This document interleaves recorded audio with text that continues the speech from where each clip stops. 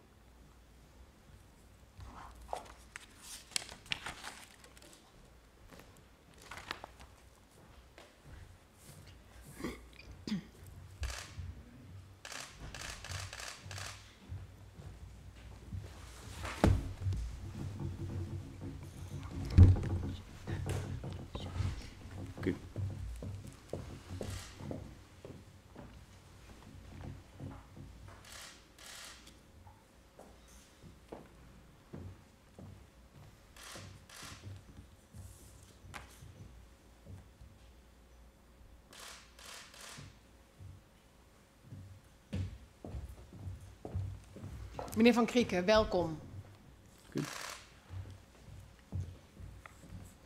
U wordt vandaag gehoord als getuige door de enquêtecommissie. En als getuige bent u verplicht de waarheid te spreken. Daarom zal ik u beëdigen voordat we met het verhoor beginnen. En dan vraag ik u met de belofte te bevestigen dat u de gehele waarheid en niets dan de waarheid zult vertellen. Mag ik u vragen te gaan staan en mij na te zeggen dat beloof ik. Dat beloof ik. Dank u wel, neemt u plaats.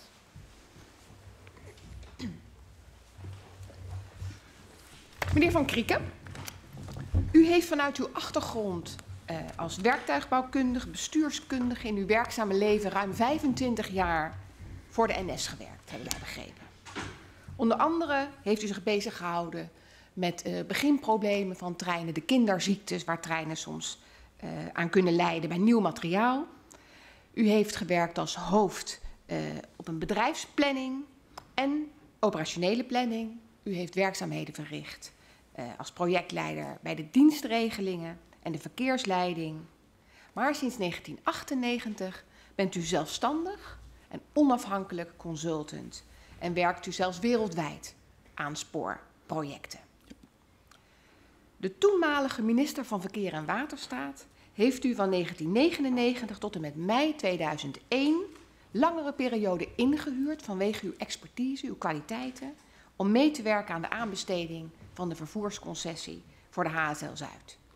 En daarbij was u betrokken bij de voorbereidende werkzaamheden over de dienstregeling en de capaciteit en de infrastructuur. En ook was u betrokken bij de beoordeling van de biedingen. Dat maakt dat wij vandaag met u willen spreken. Hebben namelijk een aantal vragen over de aanbesteding van de vervoersconcessie, met name in het licht van uw expertise. Het verhoor vandaag zal met name worden gevoerd door mevrouw Vos en de heer Van Gerven.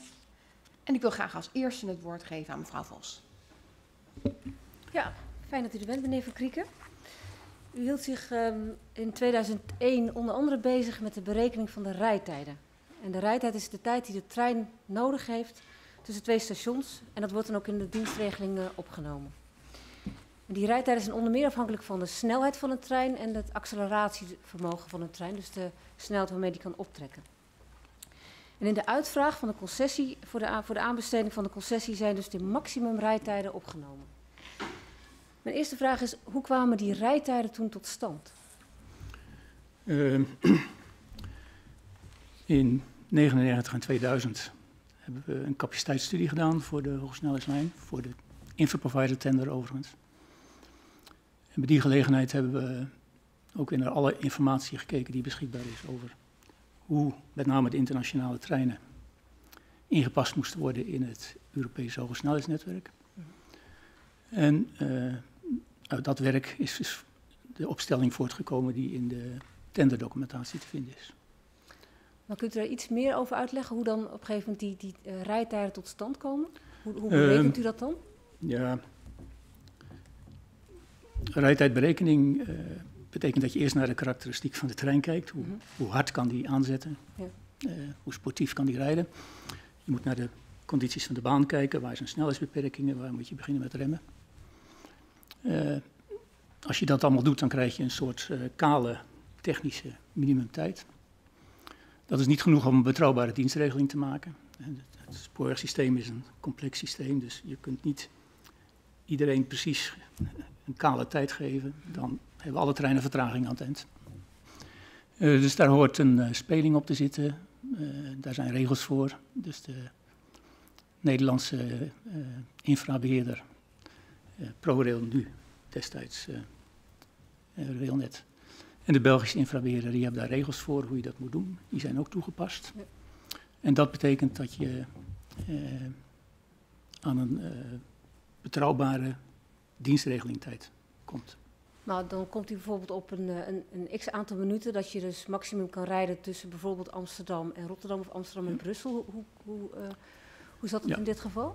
In dit geval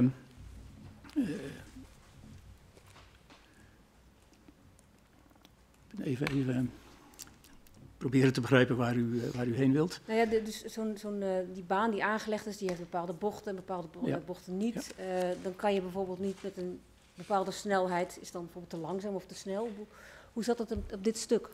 Ehm, ja, dat is, dat is een heel complex verhaal. dus de, het, je kijkt naar het ontwerp van de eigen hoogsnelheidslijn -huh. en van de bestaande lijnstukken waar je doorheen moet. Je moet Amsterdam-Schiphol is bestaand net. En de, door Rotterdam heen maak je ook gebruik van uh, infrastructuur waar andere treinen rijden. Dus je moet voor de hele. Uh, en dan krijg je in België weer andere. Uh, dus waar zitten wissels, waar zitten snelheidsbeperkingen, waar moet je beginnen met remmen om aan de volgende snelheidstrap ja. te voldoen. Dus dat is een vrij complex rekensysteem. Ja. ja. En van welke maximumsnelheden die een trein kan halen is uitgegaan bij het berekenen van de rijtijden tussen bijvoorbeeld Amsterdam en Brussel? Amsterdam en Brussel is uh, aangehouden de snelheden die afgesproken zijn in de PBKA, dus Parijs, Brussel, Keulen, Amsterdam uh, uh, tijd. de afspraak is dat daar in het Europese hoogsnelheidsnet 300 kilometer de, de standaardsnelheid is. Dus, dus, dat is de hoge snelheidslijn, dus daar moest en daar kon ook 300 kilometer gereden worden. En dan ga je dus uit ook van materieel dat 300 kilometer per uur kan rijden. Ja, dus in de tender is ook duidelijk aangegeven dat de tijden gebaseerd zijn op het ja. gebruik van dat materieel. Maar voor het binnenlandse vervoer, hebben wij begrepen, uh, konden vervoerde treinen inzetten met een maximumsnelheid van 220 km per uur. Dus Amsterdam, Rotterdam. Ja. Dat klopt toch? Ja. ja. Maar voor de verbindingen tussen Parijs en Brussel, dus die PKBA-steden, uh, uh, werd uitgegaan van 300 km per uur, dat ja. soort treinen. Ja. En de rijtijden in de concessieovereenkomst, als ik dat goed begrijp, die waren daarop gebaseerd. 220 kilometer maximum binnenlands en 300 kilometer per uur maximum als je dan de grens overging. Ja, dus de tijden die uh, in een bijlage bij de concessies zijn dezelfde als in de tenderdocumentatie. Ja. Uh, want daar hebben ze, heeft de, de concessionair op geboden. -huh. uh, en die moet hij dus ook aanhouden. Ja.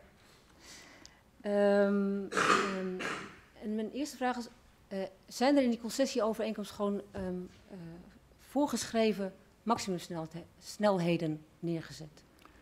Uh, nee, in de concessieovereenkomst staat hoe de dienstregeling eruit moet zien, ja. want daar gaat het om. Ja. dus wat aangeboden moet worden. Elk half uur een trein, snelle trein naar Brussel. Ehm, en voor de andere lijnen gelden andere aantallen. En in de bijlage staat uh, op welke basis die tijden berekend zijn die daarbij horen. Maar daar stond dus niet in, u, u zult met 300 km per uur naar Brussel rijden. Er staat in, uh, wij willen, een, u hebt beloofd een uh, reistijd, dus niet een rijtijd, maar een reistijd van 33 minuten. -huh. daar houden we u aan. Ja. die 33 minuten is gebaseerd op de inzet van materieel wat 300 km per uur kan rijden. Um, en, op de, uh, en waarom was het dan voor die binnenlandse uh, rijtijden, waarom is daar dan 220 km per uur? Uh, gehanteerd Ja, als maximum rijtijd? dat is bij het hele ontwerp van de, onze hogesnelheidslijn eh, uitgangspunt geweest. Voor binnenlands verkeer moet je proberen minder dure treinen in te kunnen zetten. Mhm. Eh, is in het algemeen wordt voor medegebruik voor hogesnelheidslijnen ook in het buitenland 200, 220, 230 kilometer aangehouden. Eh, daarbij, eh, dat betekent wel dus dat de, de boogstralen ruim genoeg moeten zijn eh, om te zorgen dat zowel de 300 kilometer trein als de 22 kilometer trein comfortabel daar doorheen kan. Want als je te langzaam of te snel door die bogen gaat, wat gebeurt er dan met jou als reiziger? Nou, als je te lang, die, die bogen liggen een klein beetje in de bocht. Ja.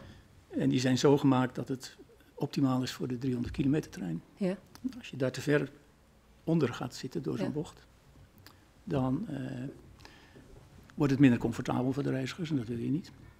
Nou doet zich dat in eh, Nederland eh, maar op één plek voor, denk ik. En op het Belgische stuk, dus van Breda naar het zuiden, geldt eh, 200 km per uur. Ja. Daar is bijna alles recht toe recht aan, dus dan is het helemaal geen probleem. Dus, eh, maar je kunt dus door die bogen, als je dan eh, met een lagere snelheid doorheen gaat, dat is oncomfortabel voor jou als reiziger. Dus je Ja. moet dan minimaal 220 km per uur. Dat was dus. Dat was het ijs. Ehm, eh, maar waarom is er niet gewoon de maximumsnelheid voorgeschreven in die concessieovereenkomst? Of die, sorry, die tender? Je tendert vervoer, je tendert niet snelheid van treinen.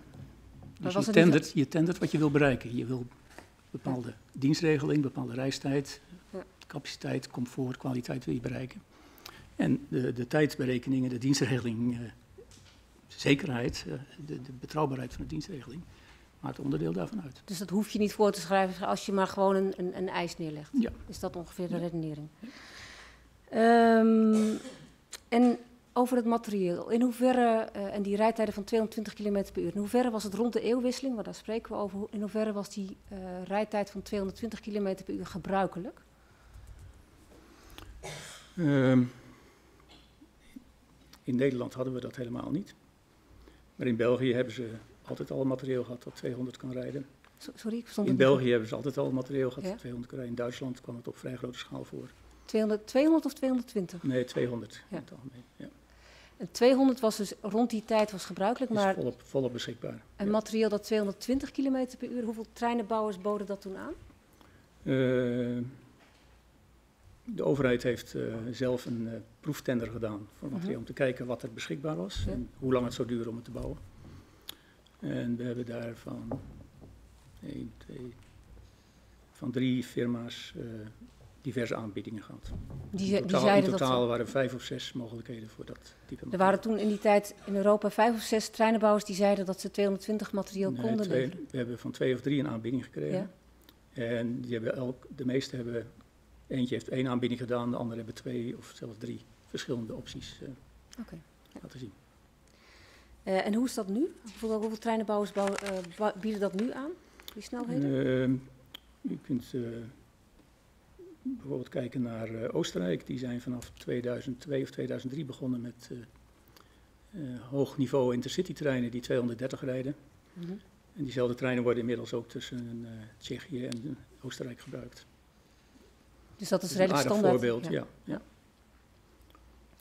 Oké, en in 2001, want u was ook betrokken bij het beoordelen van de biedingen, die waren toen binnengekomen, beoordeelde u in uw team dat onder andere op de technische gegevens van die biedingen. En dus ook het realiseren van de rijtijden. En de NS en KLM gaven in hun bieding aan dat ze niet alleen het binnenlandse vervoer met 220 materieel zouden gaan rijden, maar ook het vervoer naar Brussel. Ja. Met 220 km per uur, uur materieel. Ehm, en NS en KLM stelden dat ze daarmee de gevraagde rijtijd van 93 minuten eh, tussen Amsterdam en Brussel, want dat was gevraagd, dat ze ook met die 220 materieel konden halen. Ehm, hoe beoordeelde u destijds die bewering? Ehm, we hebben daar eh, naar gekeken. En er waren niet, ik moet u even uitleggen, er waren twee assessment teams die los van elkaar eh, naar die aanbiedingen keken. Ehm, als je vragen had, dan moet je die via het eh, bovenliggende team, het reviewteam, stellen aan een deskundige die daar het antwoord op had. En beide teams hebben dus vragen gesteld eh, over of, of we dat soort materieel eh, konden vinden eh, en of het realistisch was. Wat was, wat was het verschil tussen die twee teams?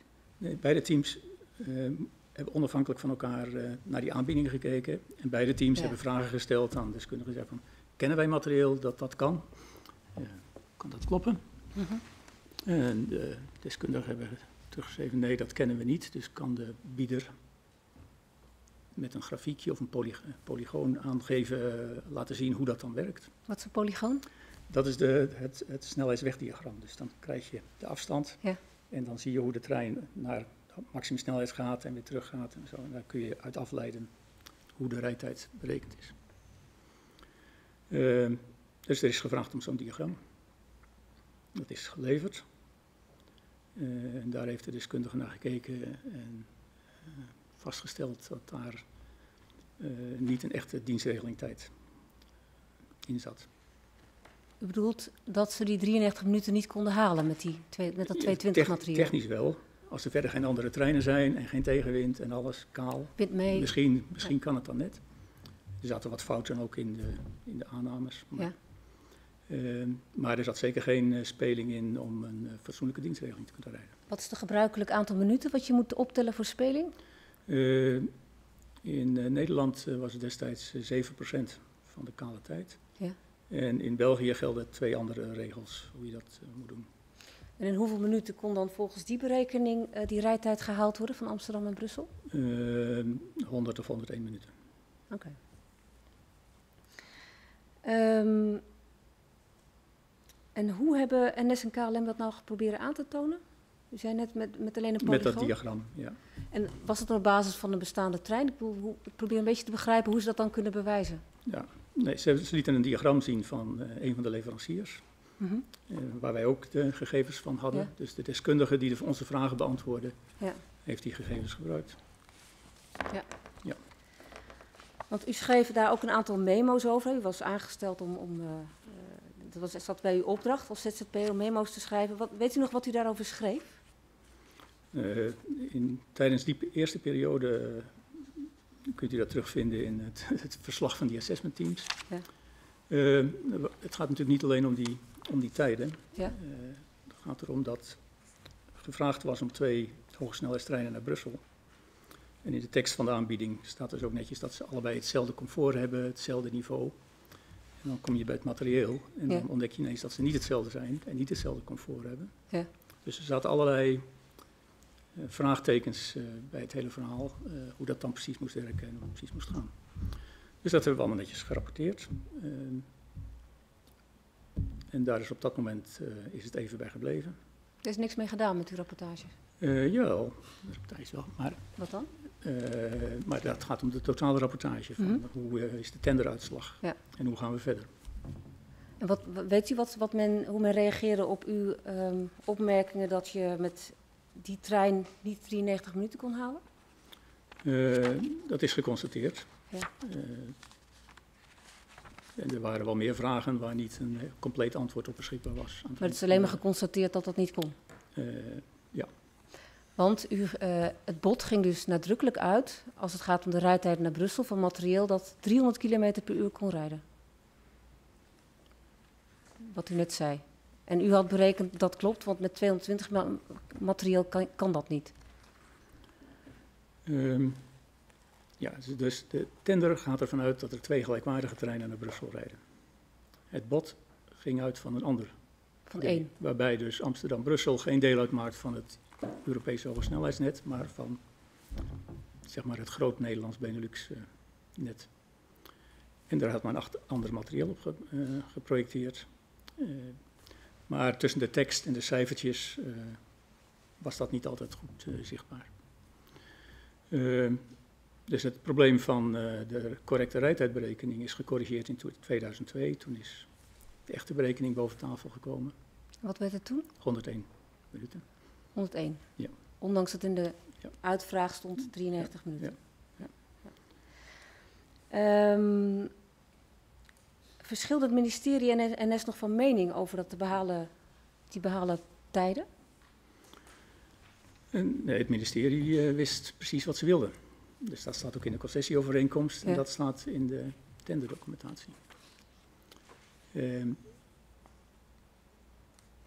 NS wilde die trein naar Brussel niet geïntegreerd hebben in het Frans-Belgisch, Duits-Nederlandse systeem. Waarom niet? Niet in de Thalys-groep. Ja, daar hadden ze een heleboel redenen voor. Welke waren dat? omdat ze de Fransen niet de invloed wilden gunnen op dat mooie product, Amsterdam-Brussel omdat ze vonden dat het daarmee eh, meer rendabel zou zijn. En uh, dat het waarschijnlijk een betere samenwerkingsovereenkomst met, met de Belgen zou opleveren. Uh, de Belgische experts hebben ergens tijdens de tenderbeoordeling even mogen kijken naar de aanbiedingen. En hebben gelijk gezegd van, wat is dit, die 220 naar Brussel? Dat staat niet in onze, past niet in onze verwachtingen. En uh, we hadden nog wat opmerkingen in die trant. Dus dat betekent dat als je kiest voor dit model, anders dan wat de Fransen en de Belgen verwachten, dat daarna, na de, het, de, het aanwijzen van de winnaar van de tender, volgt de onderhandelingsfase. Ja. En dan moet er dus ook met de Belgen gepraat worden over dit uh, idee. Ja. Dus als ik het uh, even samenvat, het, de, het bod voldeed niet aan de vraag, namelijk 101 minuten in plaats van 93 minuten. Um, uh, de Nederlanders wilden niet in het TGV-concept ja. de bieding doen. Ze wilden niet samenwerken om allerlei redenen met de Fransen. En u zegt ook, de Belgen waren verbaasd uh, ja. toen zij dus dat aanbod zagen. Dat dat TGV-concept eruit was en dat er een concept wordt aangeboden wat compleet nieuw was. Dat is wat u zegt. Um, goed, dan kijk ik even naar mijn collega van Gerven. Ja, meneer Van Krieken, um, ik heb uw betoog even goed op me laten inwerken. En uh, wat mij opvalt is, er wordt een hoge snelheidslijn aangelegd met uitdrukkelijk de bedoeling om 300 eh, km per uur te rijden. Ja. Dat is de, de trein die daar overrijdt. Dus had het nou toch niet gewoon in de reden gelegen dat uh, in het, uh, de tender, hè, die was uitgeschreven, de, de biedingen die gedaan moesten worden, dat daarin was opgenomen er moet een trein overheen rijden die 300 km per uur kan rijden.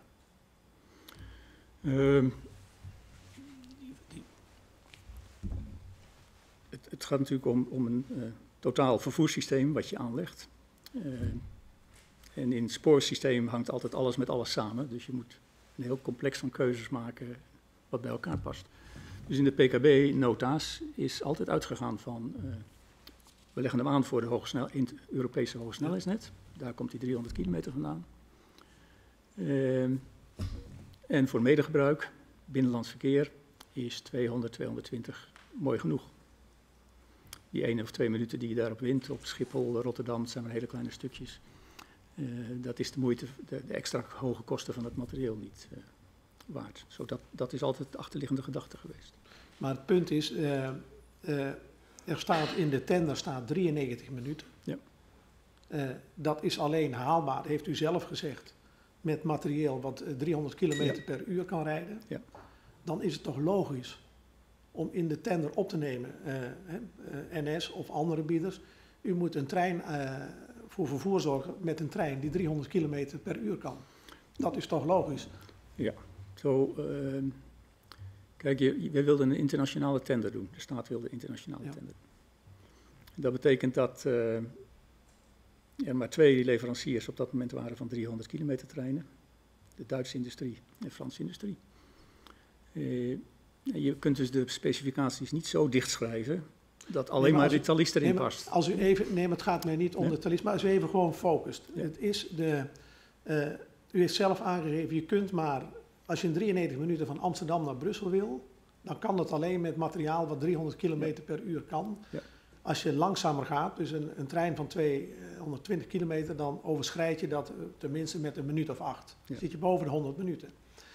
Dat heeft NS gedaan. Ja. Kun je dan toch niet de conclusie trekken dat als je wil dat het 93 minuten is, dat dan uh, er een trein gevraagd had moeten worden die 300 kilometer per uur kan? Dat is niet gebeurd. Dan moeten we toch concluderen dat uh, wat is neergelegd aan, aan een bieding uh, die niet voldoet aan 93 minuten, dat dat niet ontvankelijk is. Dat het in vaktermen non-compliant is.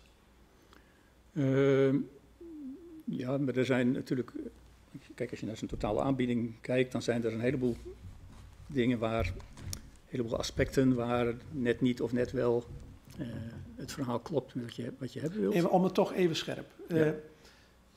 U zegt zelf, 300 kilometer per uur is nodig voor 93 minuten. Ja. Dat klopt. Ja. Als je dan een trein aanbiedt van 220 kilometer, dan haal je dat niet in 93 minuten. Ja. Dat klopt ook. Ja. Dan moeten we toch concluderen dat wat NS geboden heeft, dat dat eigenlijk conform de voorwaarden van de, tent, van de tender als non-compliant, als niet ontvankelijk had moeten worden beschouwd.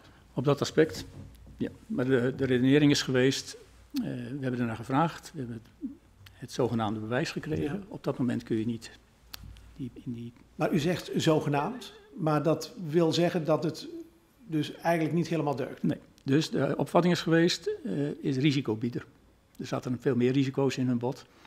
Uh, dus is gezegd van, uh, we kunnen daar nu over gaan steggelen. Ja. dus in principe zou het in de tweede ronde, in de onderhandelingsronde, weer aan de orde hebben moeten komen. Ja. Ja, dus het initiële bod is toegeschreven op een soort standaard tender waarin je een standaard model moet invullen om te zorgen dat alle bieders dezelfde informatie gebruiken en dezelfde kansen hebben. Uh, en daarna was voorzien dat in de tweede ronde dat verder werd verfijnd en uitgebreid en dan kun je dat soort uh, problemen aan de orde stellen. Ja. Maar als ik u uh, een citaat mag voorleggen Ja. uit de stukken, een citaat van u uit die tijd. Hun bod, NS, was niet compliant. Dus voldeed niet. Op, op dat punt. ja. Net als in 99. Ja. Maar door de leugen over 93 kon het nu net. Nou ja, we konden niet zeggen dat ze niet compliant waren, want anders hadden we geen bieder meer overgehouden. Ja. Kunnen we daaruit, uit dat citaat, hè, wat u zelf heeft opgeschreven toen de tijd, niet concluderen dat men zo moest doen, het maar door de vingers zien, omdat er anders uh, niemand een uh, volwaardig bod had gedaan. Of in ieder geval NS niet. Nee, dat zijn toch uw woorden. Ja, dat zijn mijn woorden, een jaar later. Uh, dus op dat moment, aan het uh, eind van de tenderbeoordeling, was de opvatting dat er op allerlei punten uh, allerlei non-compliances waren, maar dat uh, aan de basisvoorwaarden, dus de harde voorwaarden, het minimumbod, et cetera, voldoende voldaan was om door te gaan naar de onderhandelingsfase. Maar goed, u zegt op dit punt, op dit punt was het niet ontvankelijk. En ze hebben dat uh, maar geaccepteerd om toch door te kunnen gaan van de Rijkswegen. Nou, mijn verwachting was dat we daar in de onderhandelingsfase op terug zouden komen. Ja, uh, en u zegt ook dat uh, men is ook doorgegaan omdat het wel financieel dan, laten we zeggen, aan de maat was. Dus die, hè, die 100 miljoen, die ondergrens, nou, die werd wel geboden. En dat was dan eigenlijk de, de reden om toch die, met NS verder te spreken. Nee, dus uh, op alle punten die in een aanbiedingen moesten staan als verplichte onderdelen, en waar vragen over waren en of het nou wel helemaal klopte, en of net niet of net wel. Al die punten zijn in de onderhandelingsronde aan de orde geweest. En het resultaat daarvan vindt u terug in de concessieovereenkomst. Dus vandaar dat in de concessieovereenkomst nog steeds de tijden staan die gehaald moeten worden. Ja, maar nogmaals, u toont glashard aan in uw eigen berekeningen. Het is niet haalbaar in 93 minuten. Ja. Dan had toch het bod van de NS niet ontvankelijk moeten worden verklaard. Uh, Ze hebben namelijk gepersisteerd in. Hè, er is gesproken over. U was daarbij, u hebt nader informatie gevraagd. Hoe zit het nou precies, uh, NS? Kom nog eens met nader bewijzen. U zag precies hoe het zat. Men had gewoon de kale rijtijd gerekend en de tussenstops er als het ware uitgehaald. Dus uh, een loopje genomen met uh, de werkelijkheid, om het zo maar eens te zeggen. Omdat je in de praktijk nooit met 220 en 93 minuten kunt rijden. Dat wetende, dan had toch uh, men moeten zeggen, luister, het bod is niet, niet ontvankelijk. Want dat was toch een harde voorwaarde in de concessieovereenkomst. Ja. Of in, ja, in het bod. Uh, even terug. De tender was erop gericht om voor een volledig vervoerssysteem, dienstregeling, kwaliteit, comfort, uh, een aanbieding te krijgen. op een vooraf gedefinieerd uh, dienstregelingpatroon. en de bedoeling was dat in de tweede ronde, de onderhandelingsronde, dan verder verfijnd zou worden, verbeterd zou worden, fouten eruit gehaald, et cetera, et cetera. Dus aan het eind van de beoordeling hadden we een hele lijst met dingen waar je zegt van, we moeten nog eens over praten, wat of dat wel klopt. En dat is ook voor het grootste deel gebeurd. Uh, en uh, bij deze, de, de, reis naar Brussel, uh, moest afgewacht worden hoe het overleg met de Belgen zou op, van de grond zou komen. Dus er is op, er is op gezegd van oké, okay, als NS denkt dat ze dat kunnen doen, het is hun risico, we zien het wel, wij blijven bij onze eisen. Ja. Dus uh, uiteindelijk heeft de, de, staat gezegd van nou ja, uh, het is het risico van NS. Ja. Wij houden ze aan 93 ja. minuten. Um, maar was het nou zo dat, uh, dat dat niet hardop gezegd mocht worden? Dat niet aan die rijtijden werd voldaan, omdat anders zou blijken dat, ja, dat die tender mislukt zou zijn? Mm, Omdat het bod van de NS niet valide zou zijn? Ik denk het niet. In de rapportage aan de tenderboord en aan de projectdirecteur is gemeld dat dat probleem er lag van die 220 treinen naar Brussel. En dat maar moest worden afgewacht hoe dat af zou lopen. Uh, en de reactie van de tenderboord, als ik me goed herinner, was dat uh, de projectorganisatie werd verzocht om alle risico's zoveel mogelijk op het bord van de bieder te leggen. En zeker, maar... En, en om dat dus er niet over te nemen als staat. Kijk, waarom? Want dat prikkelt mij toch. Dat, dat is evident eraan één voorwaarde niet wordt voldaan, dat die reistijden. Dat men zegt, we gaan toch door. Zat daar nou achter toch de gedachte van, ja, deze tender mag niet mislukken? Uh, op dit punt niet, denk ik. Op dit punt was er meer zorg over hoe het dan met de Belgen moest en uh, of we onze vervoersdoelen wel zouden halen op deze manier. Maar je kunt uh, de bieder, als de bieder denkt dat hij het kan halen, dan kun je op dat moment niet zeggen van u mag dat niet denken. Dus de, de, redenering is geweest, laat maar eens kijken hoe ver ze komen. Wij houden ons bij onze eisen. Ja. En de rest is risico. En dat dat, dat aan, het eind niet zo werkt, is een ander verhaal. Maar dat is op dat moment de redenering geweest. En even nog kijkend naar die tender, heeft naar uw gevoel hebben alle partijen zeg maar, een uh, eerlijke kans gehad om die uh, concessie zeg maar, in de wacht te slepen? In principe wel. Uh, dus de tender was zo vormgegeven dat iedereen hetzelfde, dezelfde informatie kon hebben. Natuurlijk had NS voordelen omdat ze van hun eigen vervoer op bestaande net veel meer wisten dan de andere bieders. Ja. Maar die informatie was uh, zo goed en zo kwaad als het kon beschikbaar gesteld aan alle bieders. Ik kijk even naar mevrouw uh, Vos. Ik had nog een vraag over die reistijden. Dus u heeft gezegd van ja, dat was blijkbaar niet het springende punt. Maar is er in de onderhandelingen, is er toen nog teruggekomen op die reistijden met NS? Nee, in de onderhandelingen niet.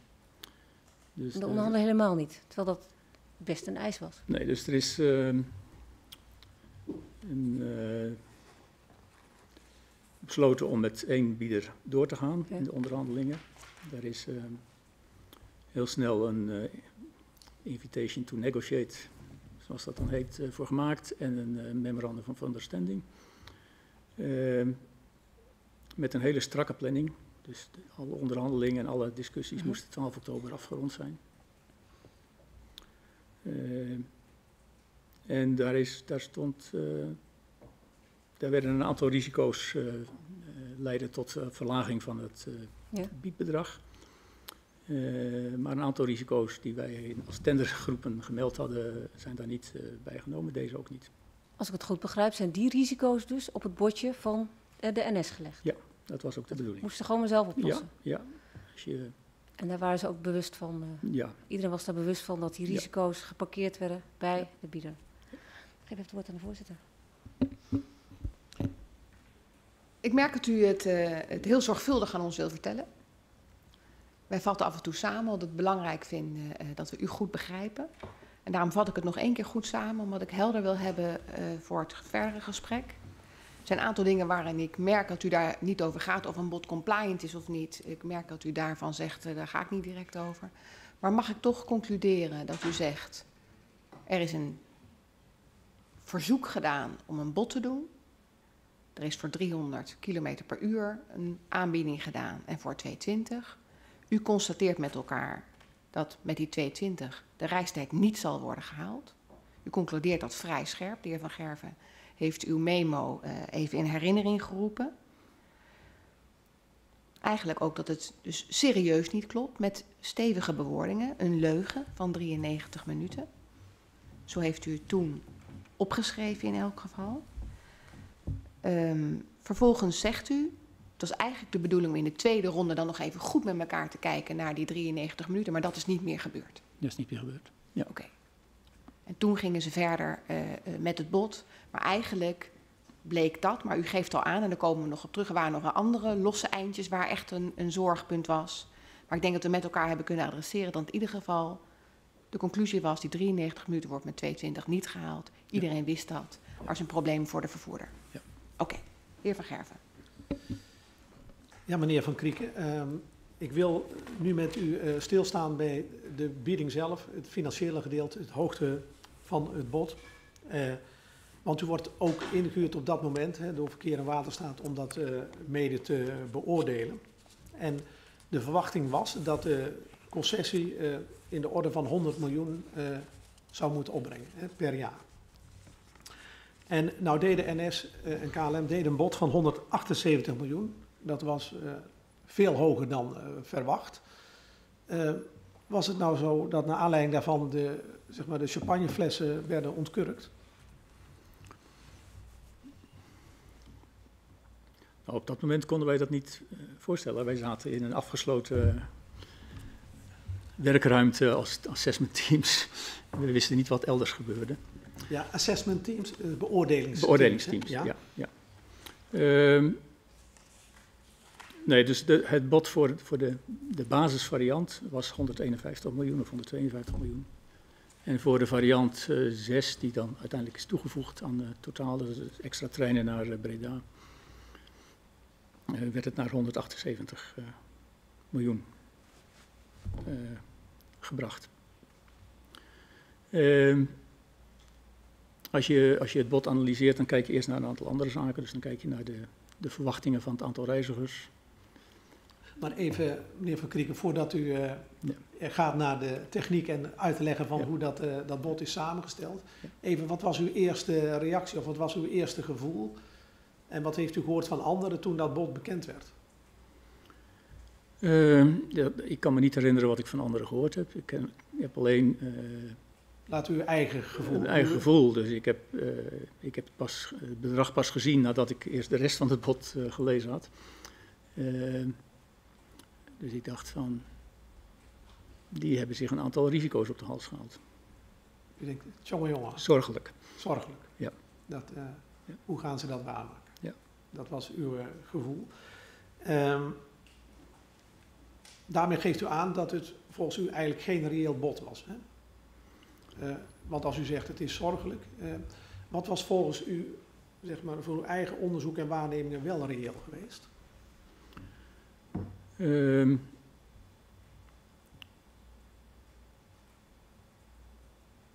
mijn uh, sommetjes in die tijd, van, van hoe ver het zou kunnen zakken als je risico's eruit haalde of de kosten meer correct berekende, kwam uit ergens tussen de, de 100 en de 110 miljoen.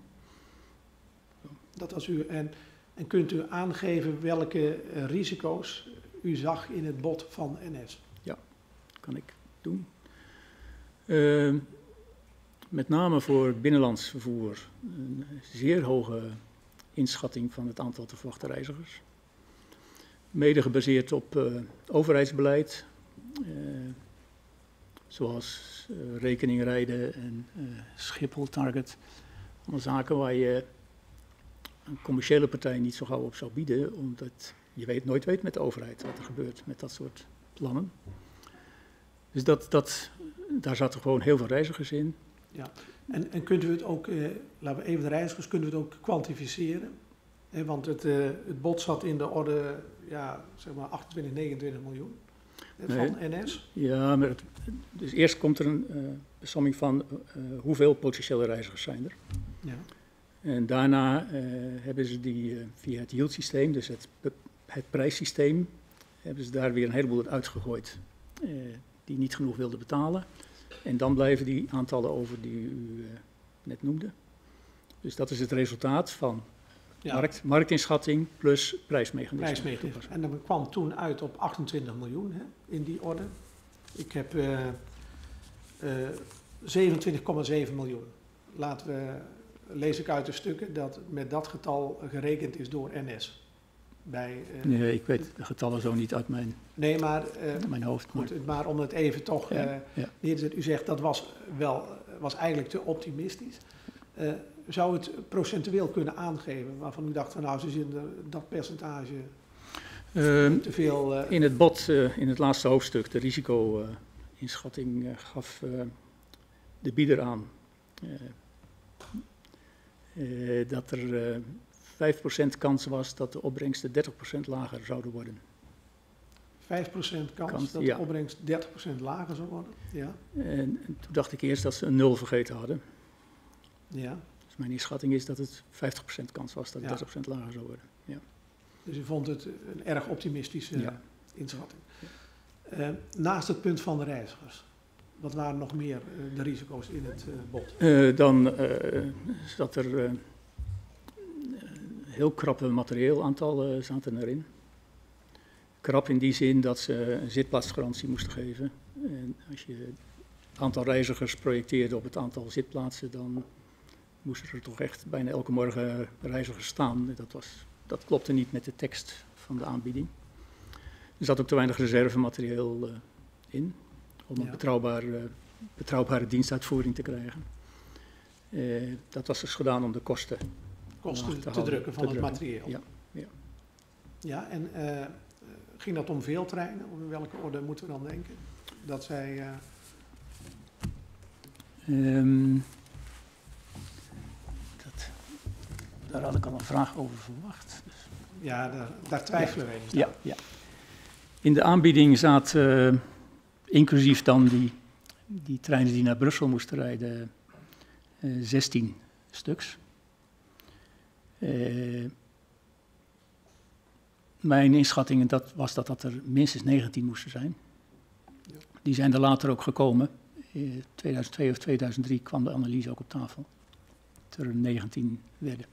Ja, ja. Dus eh, overschatting zeg maar, van het aantal reizigers. eh, onderschatting van het benodigde materieel om reizigers te vervoeren. Nog Ja. meer risico's die u zag in het... Ja, in de, in de aanbieding, eh, in de 15 jaar van de concessieperiode, groeit het aantal reizigers. In de tekst van, het, Ja. van de aanbieding zie je dus staan, we zullen investeren in meer materieel om de groei op te vangen. Maar in de cijfertjes kom je die extra treinen niet tegen. Dus dat is weer een manier om de, Ja, ja. de kosten te drukken, wel om dus de de, tekst, wel in de, tekst, maar, niet in de, financiële paragraaf. Zodat de, de, de, Ja. de, het saldo aan de staat over te dragen gemaximaliseerd kon worden. Dus dat eh, het, nog meer wat u eh, zo opviel aan de financiële kant van het bod? Ehm, Of hebben, ja, laten we even. eh jij hebt er al iets over gezegd. eh waren er ook nog risico's met betrekking tot eh, het buitenland, met eh, de Belgen en dergelijke? Eh, nee, op dat In moment kun je dat niet zien, nee, want dat werd zeer schematisch afgehandeld in de tender. Er waren voorgeschreven percentages voor, dus daar kon je verder niks aan. Ehm, goed, de, u had dus wel zorgen over dat eh bod. En Ja. nou worden vervolgens de onderhandelingen gestart met NS verder. En een belangrijk element in de tweede fase is ook de discussie over de, de beperking van de prijzen van de kaart. Dus, Tariefrestrictie, De, tariefrestrictie, met Ja. eh, een eh, vakterm genoemd. Ehm, zat dat eh, besloten in de tender, dat dat in de tweede fase aan de orde zou komen? Nee, dus tijdens, aan het begin van de onderhandelingen, dus bij het opstellen van de MOU, de, de overeenkomst hoe de onderhandelingen zouden gaan lopen, zijn dus niet die algemene risico's als onderhandelingspunt ingezet, maar NS heeft erop aangedrongen dat over die beperking van die tarieven Mhm. eh, gesproken zou kunnen worden. Ja, Dus dat is dus hun instrument geweest om een deel van de risico's weer uit het bod te halen.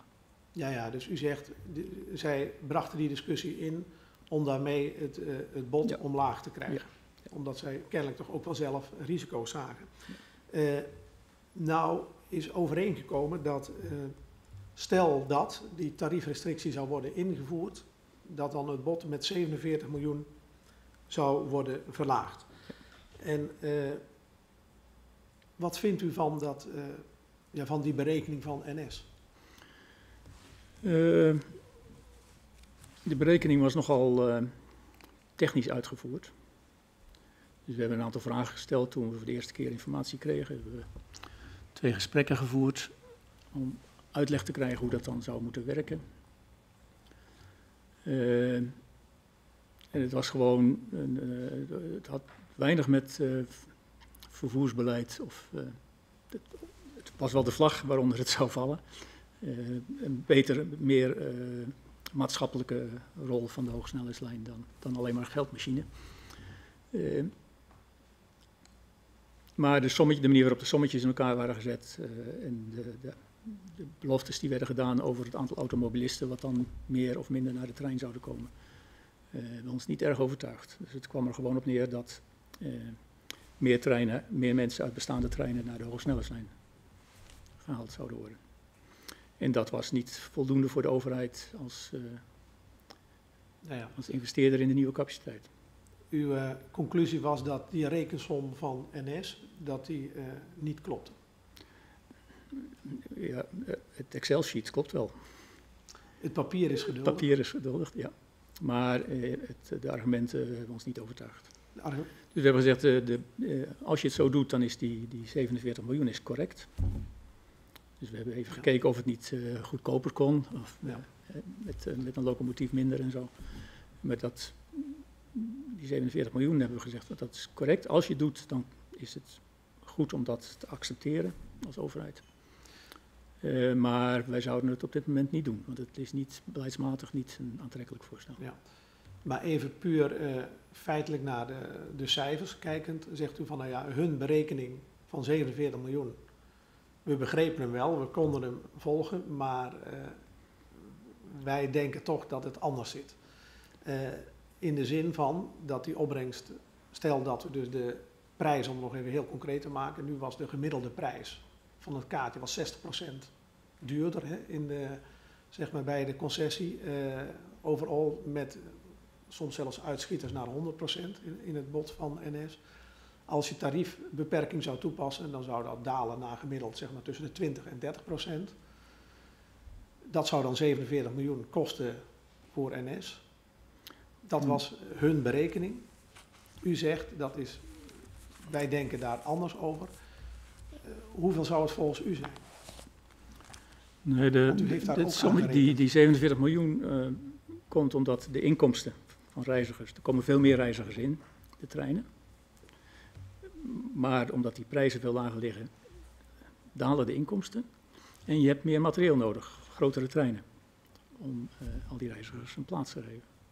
Ja, Dus Maar- er zit eh, 19 miljoen daling van inkomsten in en 28 miljoen extra kosten voor locomotieven en rijtuigen.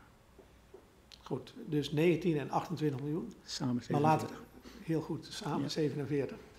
Maar laten we even het materieel nemen, die 28 miljoen Ja. extra kosten. Wij kunnen constateren dat het aantal reizigers wat zij geprognotiseerd hadden, dat dat in werkelijkheid beduidend lager was. Eh, Als we kijken naar eh, de actuele cijfers, of de cijfers ook al in 2010, dan ligt het aantal werkelijke, werkelijke reizigers in de orde van ja, zelfs beneden de 50%. Dus minder dan 50% wat zich uiteindelijk gerealiseerd heeft. Op, op de hoogsnelheidslijn bedoelt u? Op de, ja, op de even uitgaan, vergelijkend met de tender, hè, met de voorstellen die NS heeft gedaan, eh, die, 28, die bijna 28 miljoen, in, in de werkelijkheid eh, zit het daar ver onder. Ja, omdat er ook geen treinen zijn. Precies. Ja. Eh, kun je dan de conclusie trekken dat die 28 miljoen, dat die zich in de praktijk niet eh, heeft voorgedaan, dat kunnen we constateren, maar ook zich niet zou hebben voorgedaan, gezien de veel te optimistische cijfers. Nee, ik denk als je echt vier treinen per uur Amsterdam, Rotterdam en eh twee ervan door naar Breda zou hebben gehad, dan eh, had u nog wel eens verrast kunnen worden door het aantal reizigers. Maar met één trein per uur maar komt er niemand natuurlijk. Nee, maar eh, als je veel te optimistisch prognotiseert, Ja. bijvoorbeeld in de orde van 30%, Ja. en in de werkelijkheid is het 30% lager, en je weet dat zelf als NS, dan hoef je toch geen extra treinen te bestellen. Want die treinen die je hebt, die zitten niet vol. En als je dan de tarieven verlaagt, ja, dan worden die treinen wel wat voller, maar dan hoef je niet meer treinen te bestellen. In dit geval, de overheid heeft een dienstregeling besteld. Vier treinen per uur. Eh, en of ze dan vol zijn of niet vol, dat is jouw commerciële risico. Maar je moet wel die treinen leveren. En tot nu toe zijn die vier treinen per uur er niet. Dus kunt u ook niet beoordelen of die reizigers erop af zouden komen of niet. Nee, want het gaat, over, het gaat even over die, eh, of materieel kosten die 28 miljoen aan Ja. extra treinen, Ja. om treinen te laten rijden, of dat een reëel verhaal is. En mijn conclusie is van, luister, eh, de aantallen reizigers waren veel te hoog ingeschat. Dus in de praktijk waren die treinen niet nodig. Dat wist ook NS. Dus dat bod, of dat bedrag van 47 miljoen, dat is veel te hoog eh, in, in relatie tot eh, de Nee. werkelijkheid. Nou, op dat moment hebben we gezegd van oké, als je die, wat is jullie verwachting als je de tarieven verlaagt? Wat gebeurt er dan? En waar komen die reizigers vandaan? Nou, die komen voor het grootste deel uit bestaande treinen, eh, die dan eh, kleiner gereden kunnen worden. Dan worden die op de hoge snelheidslijn worden natuurlijk groter, als mensen een andere route kiezen. En in, op dat moment was, in, zat in een bod een locomotief en vijf rijtuigen. En daar moesten twee rijtuigen en een locomotief bij om de rijtijden weer te kunnen halen. Heeft En u daar, zelf, komt die, daar komt die 28 miljoen vandaan, dat konden we Ja. controleren. Dat was op dat moment een correcte som. Ja. heeft u zelf nog een eigen berekening gemaakt? U heeft hun berekening eh, gecontroleerd, zeg maar. Maar heeft u Nee. zelf nog... Nee, nee, nee, dit speelde zich allemaal af in een paar weken tijd. Dat, was, dat hebben we op dat moment eh, niet gedaan. Goed. De discussie is natuurlijk doorgelopen tot eind 2002. Dus er zijn later wel opnieuw sommen gemaakt, maar op dat moment Ja, niet. ja. Ehm,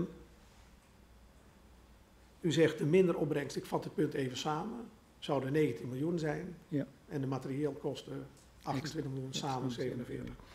Ehm, ik eh, wil nog even kijken naar, eh, want ik weet niet, heeft u meneer Spaargaard gehoord van de week? Nee. Het, eh, want die was voor u hier. Ja. En eh, we hebben natuurlijk ook eh, gesproken over het bod. En die, eh, die heeft uitgelegd hoe dat bod tot stand gekomen is. En dat het tot het uiterste gestretched was. Ja. Laat ik het zo zeggen, het zou kunnen, maar ik, het was alsof, weet je wel, het is zomer en 19 dagen schijnt de zon. Het is 19 dagen 25 graden en het regent niet.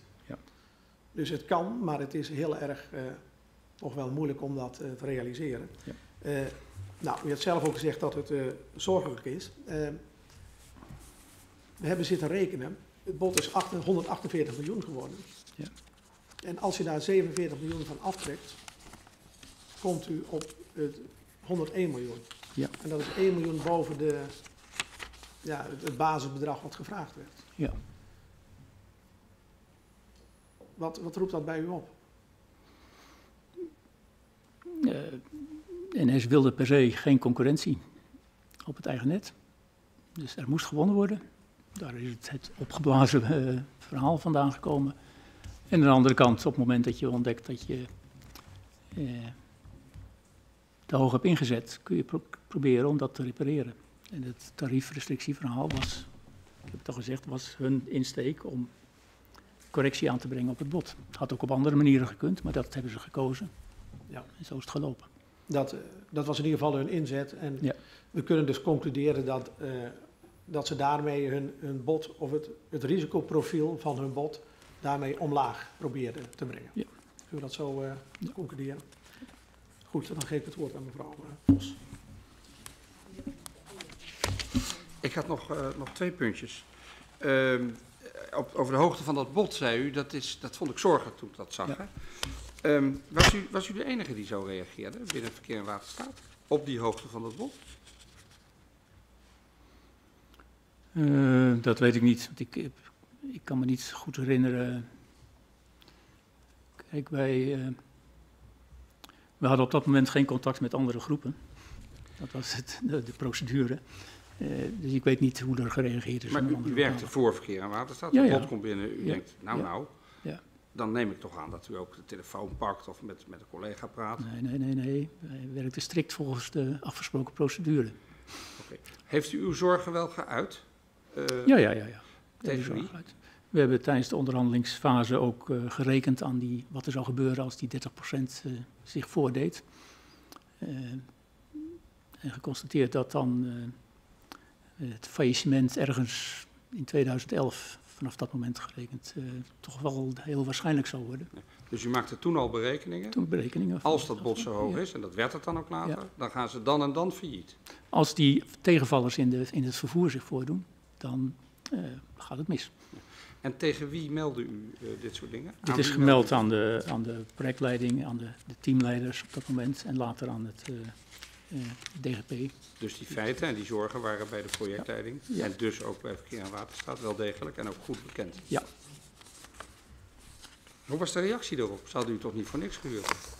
Nee, dat, eh, ik denk dat, eh, ik weet niet, niet precies, ik ben er natuurlijk niet bij geweest, hoe nou precies de eindbeslissingen genomen zijn.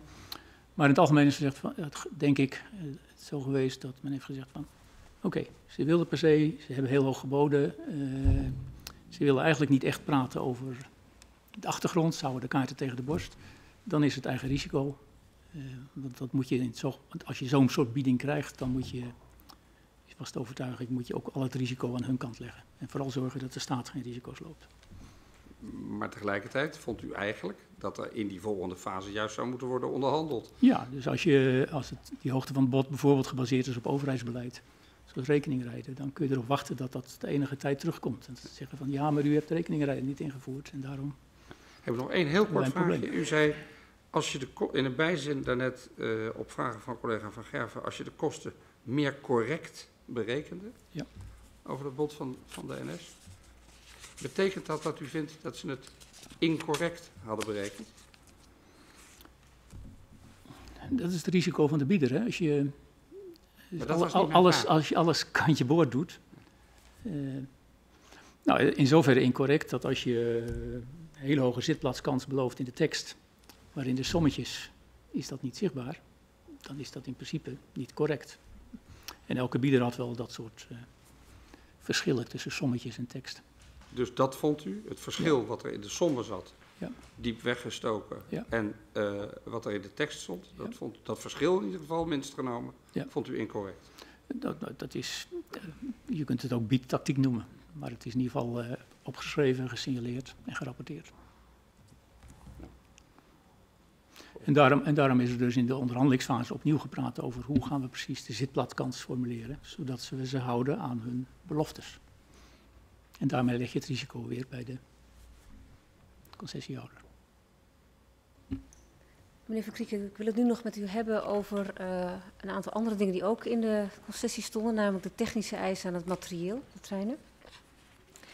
Ehm, er is opgenomen in die uitvraag eh, voor de treinen voor de HZL Zuid dat ze bij oplevering zouden moeten voldoen aan de Europese richtlijnen voor interoperabiliteit. Ja. In het Engels TSI afgekort. Ehm, maar in 2001 eh, was er nog geen definitieve invulling van die Europese regels. En het was dus ook nog niet duidelijk om wat voor specificaties het eh, toen zou gaan. Het stond wel alvast verplicht in de concessie dat het materieel daaraan zou moeten voldoen. Waarom is er toen gekozen om die technische specificaties voor de treinen voor te schrijven, terwijl de details nog niet bekend waren? Er waren wel conceptvoorschriften voor het Europese hogesnelheidsnet. Eh,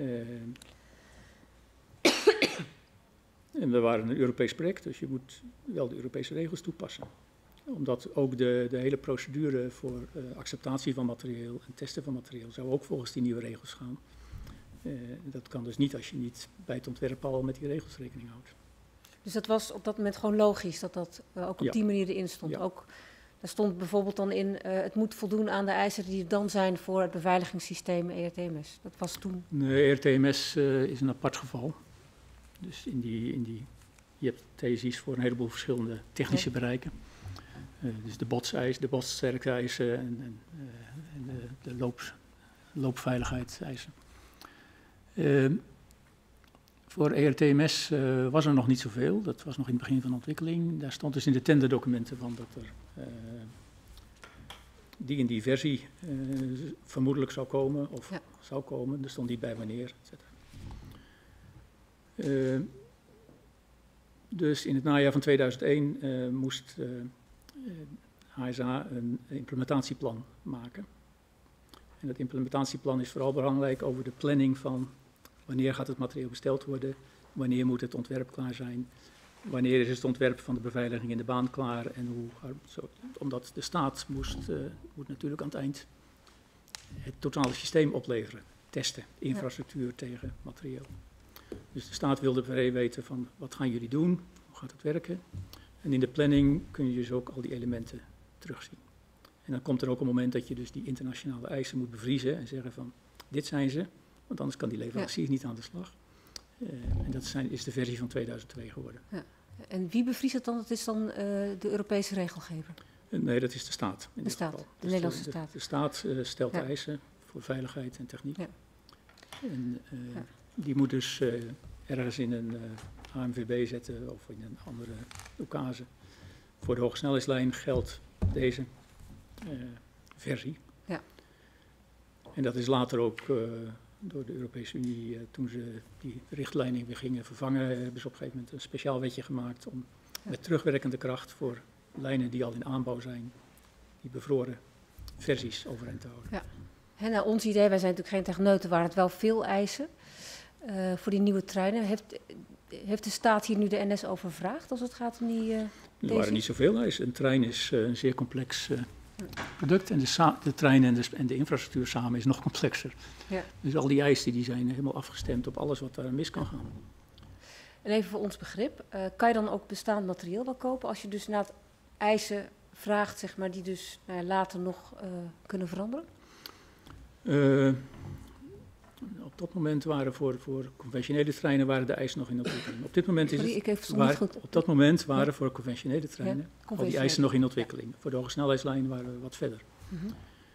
Op dit moment, als je eh, in de advertenties van de materieelbouwer kijkt, dan zal, zul je zien dat hij zegt van ik heb dit en dit materieel en het is helemaal compliant met de thesis. Dat is Ja. een verkoopconditie. Maar dat is nu zo, hè? Dat was ja, toen nog anders niet koopt zo. niemand het Ja. van je. Ja, ja.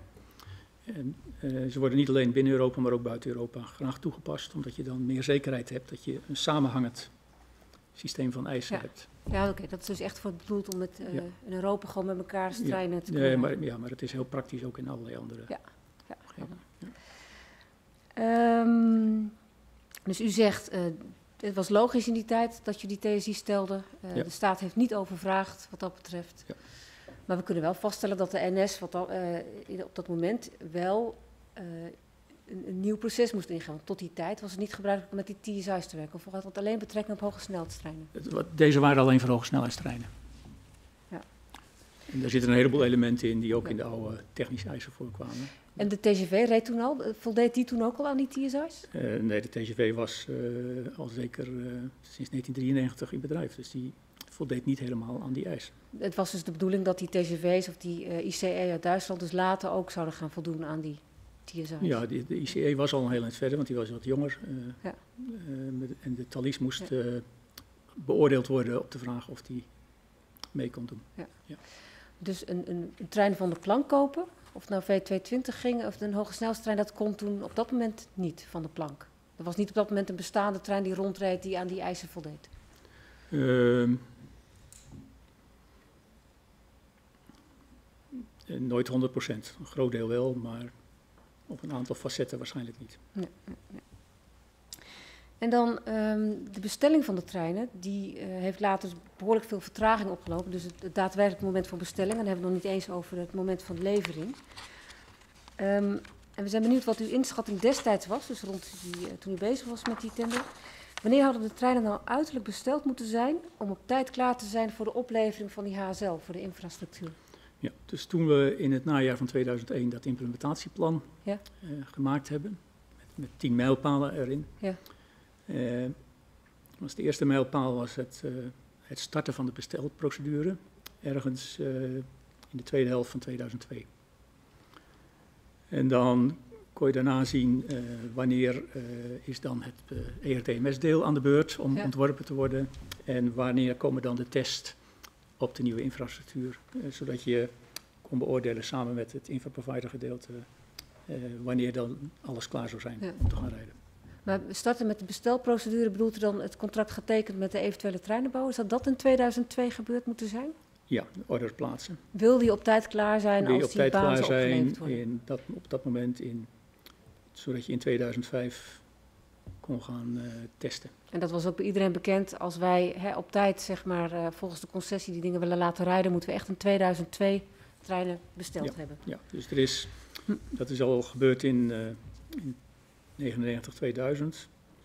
Dat is een van mijn eh, bijdragen om te zeggen van hoe lang duren al die dingen. Ja. Een soort planning gemaakt en zeggen van nou, als je, Ja. als je dit wil doen, dan moet eerst dit en dan dit en dan dit. En hoe lang duurt het dan voordat je zo'n trein gekocht hebt? Je bestelt hem. Wat is de, de gemiddelde tijd, zeg maar, dat een trein dan klaar is? Ja, dat hangt erg van het type trein af. Dus als je een bestaand type neemt, dan eh, moet het toch in drie jaar tijd eh Drie jaar, van up bestaand en running kunnen zijn. Maar we hebben net vastgesteld dat hè, om allerlei eh, eh, zeer moverende redenen eh, eis, nieuwe eisen werden gesteld. Dan was drie jaar waarschijnlijk te kort geweest. Nee, voor een bestaande trein niet. Voor een bestaande trein niet, maar nee, voor, want dan, dan, het basisontwerp verandert niet zoveel. Dus als- met een basisontwerp plus die TSI's had ook drie jaar gekund. Ja, maar als je een, een nieuwe trein zou bestellen, dan... Hoe lang ben je dan bezig? ja, dan moet je eerst iets ontwikkelen. Hè. Dan, eh, kijk, moderne treinen worden als, net als auto's op een soort platformsysteem eh, gebaseerd. Dus als je kijkt bijvoorbeeld naar het Oostenrijkse voorbeeld, wat ik al eerder noemde, die zijn in 2002 of 2003 begonnen met bestellen van die locomotief en die Ja. rijtuigen voor 230 km per uur. En in 2005 reden de eerste. Ja. Voor Dus testdoeleinden. Ja. Oké, dank u wel. Ik geef het woord aan de voorzitter. Twee onderwerpen wil ik nog even met u verder bekijken, juist omdat u daarin zo deskundig bent. Ehm, er waren dus een aantal eisen. U zegt, nou ja, dat, dat, dat zijn reële eisen. Het zijn TSI's voor een hoge snelheidslijn. Strikt genomen klopt het toch dat die TSI's eigenlijk pas zouden gelden voor treinen die harder zouden gaan dan 250 km per uur? Ehm, ja, maar eh, vanwege de samenhang met de, de infrastructuurontwerp hebben we gezegd, het is veiliger, alle treinen moeten voldoen aan die TSI. Oké. En in de TSI zult u zien dat voor treinen die langzamer gaan dan 250 km per uur zijn er een aantal verzachtingen en uitzonderingen. Dus bijvoorbeeld de, de aslast mag hoger zijn als je langzamer rijdt. En dat kunt u ook allemaal in die TSI's terugvinden. Ja. Maar klopt het nou dat de Thalys op dit moment ook nog niet voldoet aan alle eisen en dat daar ook allerlei uitzonderingen voor bedacht zijn? Mm, dat, dat kan ik me in detail niet herinneren. We zijn dus gewoon een toelatingstraject voor de Thalys weer gestart. Eh, op het gebied van eh, TSI-eisen zijn daar niet, kan ik me geen enkel probleem herinneren. Er zijn wel veel discussies met de brandweer geweest over het, wat te doen met evacuatie in tunnels. Maar dat is toch een onderdeel van de TSI's, die hele brandveiligheid? Ja, de tunnel-TSI was destijds nog in ontwikkeling, Mhm. aanleiding van een aantal grote branden. Dus daar, dat is een overgangsgebied. Oké. Ehm, dus u zegt, op zich waren er veel eisen. Maar is het niet eh, bijzonder dat een treinenbouwer aan de slag moet gaan met een trein waarvan eigenlijk de eisen nog niet bekend zijn? We hebben in eerdere verhoren iemand horen zeggen: het is toch wel bijzonder om bijvoorbeeld tegen de software-industrie te zeggen: u moet iets maken wat, eh, eh, ja, het wordt Windows 13, terwijl we nog met 8 bezig zijn. Herkent u dat? Nou, ik denk in dit geval niet. eh, zeg maar, als het gaat om de, de draaistellen, de wielen, het rijtuig, eh, eh, frame, eh, de verwarming, de ventilatie, de drukdichte deuren, dat is allemaal. Er zit weinig nieuws in. Dat moet gewoon kunnen. Als je het, waarschijnlijk wilt u daar naar de ERTMS toe. Daar, daar is dus Nou, ik wil het gewoon goed snappen. ja, nou, dan, dan, dan kun je zeggen van nou, we weten, je weet heel goed waar, hoe groot ongeveer de kast moet zijn waar je, die je vrij moet houden voor die elektronica. Waar je kabels moet maken om verbindingen met de besturingsapparatuur te maken. Je weet alleen nog niet precies hoe de, de, de programmering van die elektronica Mhm. eruit gaat zien. Daar is dus begin 2002 ook discussie over geweest. Weten we al wat de infraprovider gaat maken en kunnen we dat overdragen aan NS, zodat ze weten welke kant dat op gaat. Oké. En in principe heb je dat niet nodig op het moment dat je de eerste delen aan elkaar last. Dat komt, eh, duurt nog een jaar voordat je daar aan toe bent.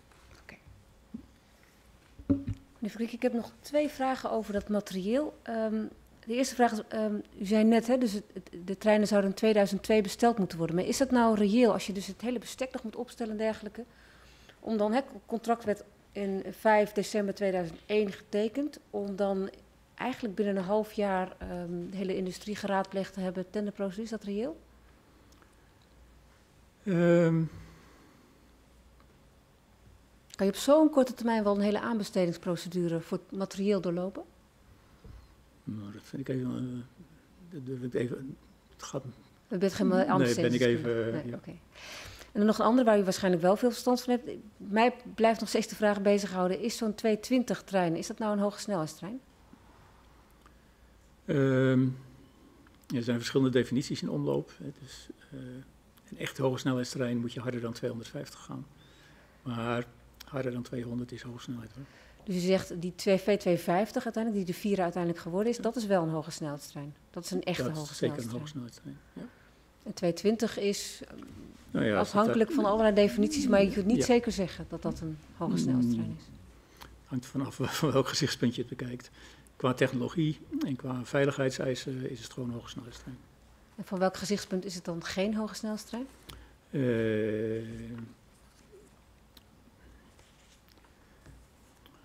je hebt eh, de, de, de, de stroomlijneisen, de, de, de geluidsproductie van de pantograaf en dat soort zaken, die, die zijn wat eh, gematigder. Eh, en ook de, de, de drukeisen kunnen wat gematigder zijn voor een trein. Ja. En hij rijdt natuurlijk gewoon minder snel dan een trein die 300 kilometer kan. Ja. Ehm, nog even ook op terug. U had dus wel, eh, toen u uiteindelijk bezig was met bot, u ging er eigenlijk vanuit dat ze met 300 kilometer treinen zouden komen en dat ze dat type zouden gaan aanpassen voor de eisen, toen u het over de materieelbestelling nadacht. Eh, ja, dat is natuurlijk een probleem. Kijk, als de, een andere bieder gewonnen had met een Duitse trein, de ICE, dan was dus de vraag geweest hoe we die eh, Frankrijk binnengekregen hadden. Dat speelde op dat moment, dat heeft een hele tijd geduurd. Ehm, en hoe het dan gelopen was, nu, nu er iemand uit de Thalys-groep gewonnen had, die samen moet werken met de Belgen, die een heel groot eh, stuk van de Thalys eh cake beheren, eh, lag het voor de hand om te verwachten dat het in het Thalys-systeem geïntegreerd zou worden. En dat is niet gebeurd. NS wilde per se de Brus- Brusselse dienst niet daarin geïntegreerd hebben. En dus is alleen de Thalys overgebleven. Wat tot de, de- van de Franse kant tot, natuurlijk tot de reactie leidde van... eh, nou, als jullie per se dat erbuiten willen houden... dan doen wij ook niet mee aan het Ja. Thalys-deel. maar dat is een beetje emotionele reactie. Discussie. Ja. Ik geef het woord aan mijn eh, collega Elias. U heeft eh, niet alleen heel veel eh, verstand van de techniek, maar ook van eh, de ambtelijke en politieke omgang eh, met de spoorwereld. Dat bleek ook al toen u net een beetje glimlachte toen u het had over hoe krijgen we een Duitse trein Frankrijk binnen eventueel. Ehm, een van de kwesties die eh, rond die aanbesteding van die concessie eh, natuurlijk ook speelde, was eh, de samenwerking met de Belgische spoorwegen. Ja. Ehm, daar heeft u zich natuurlijk ook in verdiept, of in ieder geval veel van meegekregen. Wat waren de bezwaren van de Belgen Welk, waartegen bedoelt u? tegen de manier waarop geregeld zou worden dat die concessie zou gaan lopen? De Belgen hebben dus in 1999 en 2000 een heleboel overleggen gevoerd, de Belgische spoorwegen althans, met het Nederlandse ministerie. Eh, het ging enerzijds natuurlijk over de infrastructuur, het traktaat en wat daarbij hoort. En anderzijds over het eh, vervoersmodel en hoe die internationale samenwerking dan vormgegeven moest worden. Ehm, en er is een contract ontstaan vooraf tussen de Belgische spoorwegen en de Nederlandse staat over hoe dat, dat zou gaan lopen. En dat was ook onderdeel van de tenderdocumentatie. Ehm,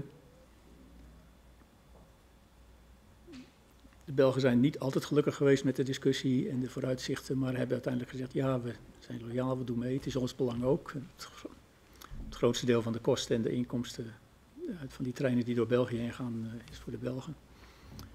Dus daar willen ze wel bij zijn. En toen eh, de tender afgelopen was en de onderhandelingen begonnen, eh, zijn ze wat geschrokken. Want er moest er ineens een heel korte tijd iets anders gebeuren dan ze hadden verwacht. Dus de oorspronkelijke procedure werd verlaten. En eh, daar worden, dat is niet de Belgische stijl. Dus daar werden ze wat zenuwachtig van. verder ging er in de haast wat mis, nu en dan, dat ze documentatie niet kregen op de afgesproken tijdstip.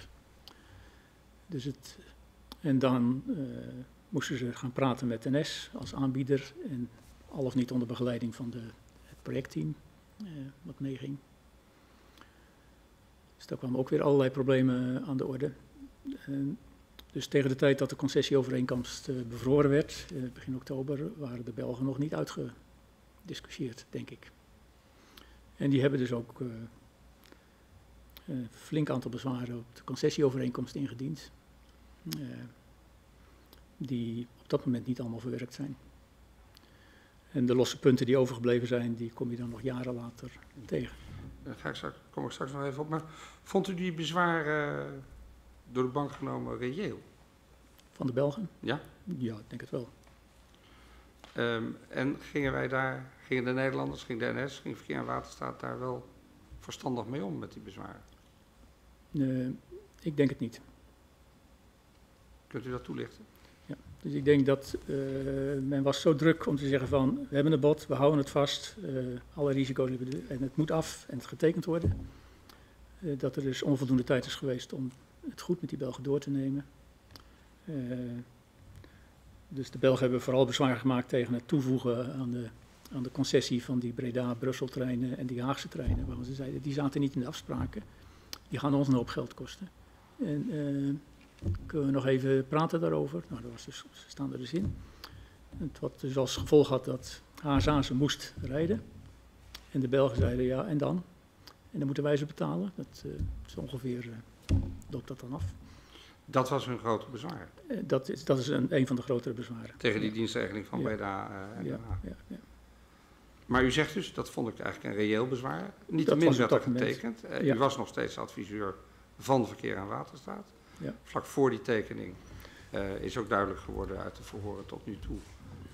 was er ook gewaarschuwd, ook vanuit de NS. Niet de, vanuit de NS projectorganisatie. Zowel NS als de Belgen hebben een brief geschreven begin december. Niettemin werd er Er zijn een aantal dingen niet af. Ja. Niettemin werd er getekend. Ja. Beschouwt u dus achteraf als een fout? Achteraf gezien denk ik van ja, dat, was, dat is dus niet maar goed. Toen ook. Maar dat had Sorry, al eerder... eerder hm? Toen, vooraf, vond u het ook fout dat er getekend ging worden? Nee, want ik had die, niet alle informatie die ik nu heb, had ik op dat moment, denk ik. Dus, uh, maar u wist wel van die bezwaren van de Ik wist van die bezwaren. Uh, en die waren voor u hard genoeg om eventueel te adviseren, niet tekenen? Uh, nee, heb ik op dat moment niet gedaan. Ik denk ook niet dat ik in die periode permanent aanwezig was. dus ik heb pas begin december gehoord van die, van die brieven. En toen kunt u, kunt nog heel kort precies uitleggen waarom die verbindingen naar Den Haag en Breda voor de Belgen verlieslatend waren, terwijl ze voor de Nederlanders winstgevend zouden zijn? Nee, in, het, uh, in de bieding werd er een bepaald formaat gehanteerd over hoe, als je de totale kosten had, hoeveel procent dan in welk land vielen. En hetzelfde geldt voor de opbrengst. Uh, dus NS heeft die uh, twee uh, verbindingen toegevoegd aan hun bod, neutraal ongeveer. Dus daar, dat leverde geen extra bijdrage voor de staat op, maar ook niet een verlaging van de bijdrage. Uh, daar is dus er is op dat moment niet gecheckt, is het realistisch om voor dit stukje, waar vooral die van Breda, waar maar een heel klein stukje Nederland in zit en heel veel België, uh, om, dat, of dat, om die regels ook toe te passen. Omdat in België dat buurlandverkeer, waar dat onder viel, is gesubsidieerd vervoer. Even voor de, voor de. In Nederland was het nooit gesubsidieerd voor de maar in België door, wel. door wie is dat niet gecheckt? Uh, door niemand niet, zou ik zeggen. maar, en dat had gecheckt moeten worden door de projectorganisatie dus, HSL? Uh, dus achteraf, ja, maar daar is dus in de juridische sfeer uh, overheen ge, gelezen, denk ik. Maar dat overheen lezen, daar hebben we nog, nou wat is het, tien jaar last van gehad? Ja. Oh, acht, geloof ik. Ja. Wat zegt u? Acht, geloof ik. Nou, acht jaar last van ja, gehad. Ja. Um, hoe zijn uiteindelijk die bezwaren afgehandeld door het ministerie? Dat durf ik op dit moment even niet te, te zeggen. Uh, er zijn, uh, het heeft heel lang geduurd voordat partijen businessplannen zijn gaan maken samen. Dus NS heeft heel lang geweigerd aan de staat een businessplan, een geüpdate businessplan te leveren. En heeft heel lang gewacht om tegenover de Belgen een businessplan op tafel te leggen. Zodat je over die dingen kunt praten. En naar ik meen zijn er in 2005 of 2006 zijn er voor het eerst sommetjes gemaakt. Ik weet waar ik ze heb, maar ik kan ze u niet repeteren, herhalen nu. Van hoeveel uh, kost het aan de NS-kant, hoeveel kost het aan de Belgische kant en wat zijn de verliezen en wat zijn die effecten. En wat daar precies mee gebeurd is. Maar die sommen waren in ieder geval al vijf jaar later dan de ondertekening. Ja. En dat had voor die tijd moeten gebeuren ja, eigenlijk. Ja. Um, kun je zeggen dat de Belgen, naar uw mening, zich in dit dossier heel uh, consistent en rechtlijnig hebben opgesteld, maar door de NS en Verkeer en Waterstaat verkeerd begrepen zijn? Misverstanden zijn er in ieder geval geweest. Die zijn er meestal tussen Belgische en Nederlandse spelers. Uh, ik denk dat de Belgen altijd wel gezegd hebben wat hun voor ogen stond. En dat ze, toen ze hoorden dat er uh, geen twee Thaliessen, maar één halve en één echte Thalys zouden komen naar Brussel, hebben ze even geslikt. Sommige mensen zeiden van, hoe gaan we dat dan doen dan? Dan is het niet meer hetzelfde merk en hetzelfde, dezelfde trein. Uh, ze hebben zich laten overtuigen later en toen zijn ze wel loyaal aan de slag gegaan. Maar tegen die tijd waren ze zoveel armer dat ze en opgesplitst. In 2005 is de Belgische spoorwegen zijn gescheiden, tien jaar later dan in Nederland. Uh, en toen lagen de verhoudingen anders, dus toen werden ook beslissingen over geld uh, op een andere manier genomen. Ja. Dus als je kunt zeggen van ja, maar je doet het nu anders dan in 99 of 2000 afgesproken, dan komt dat ook door veranderingen in de politiek en in het bedrijf daar. Ja. Um, nog even een, een, laatste punt over de.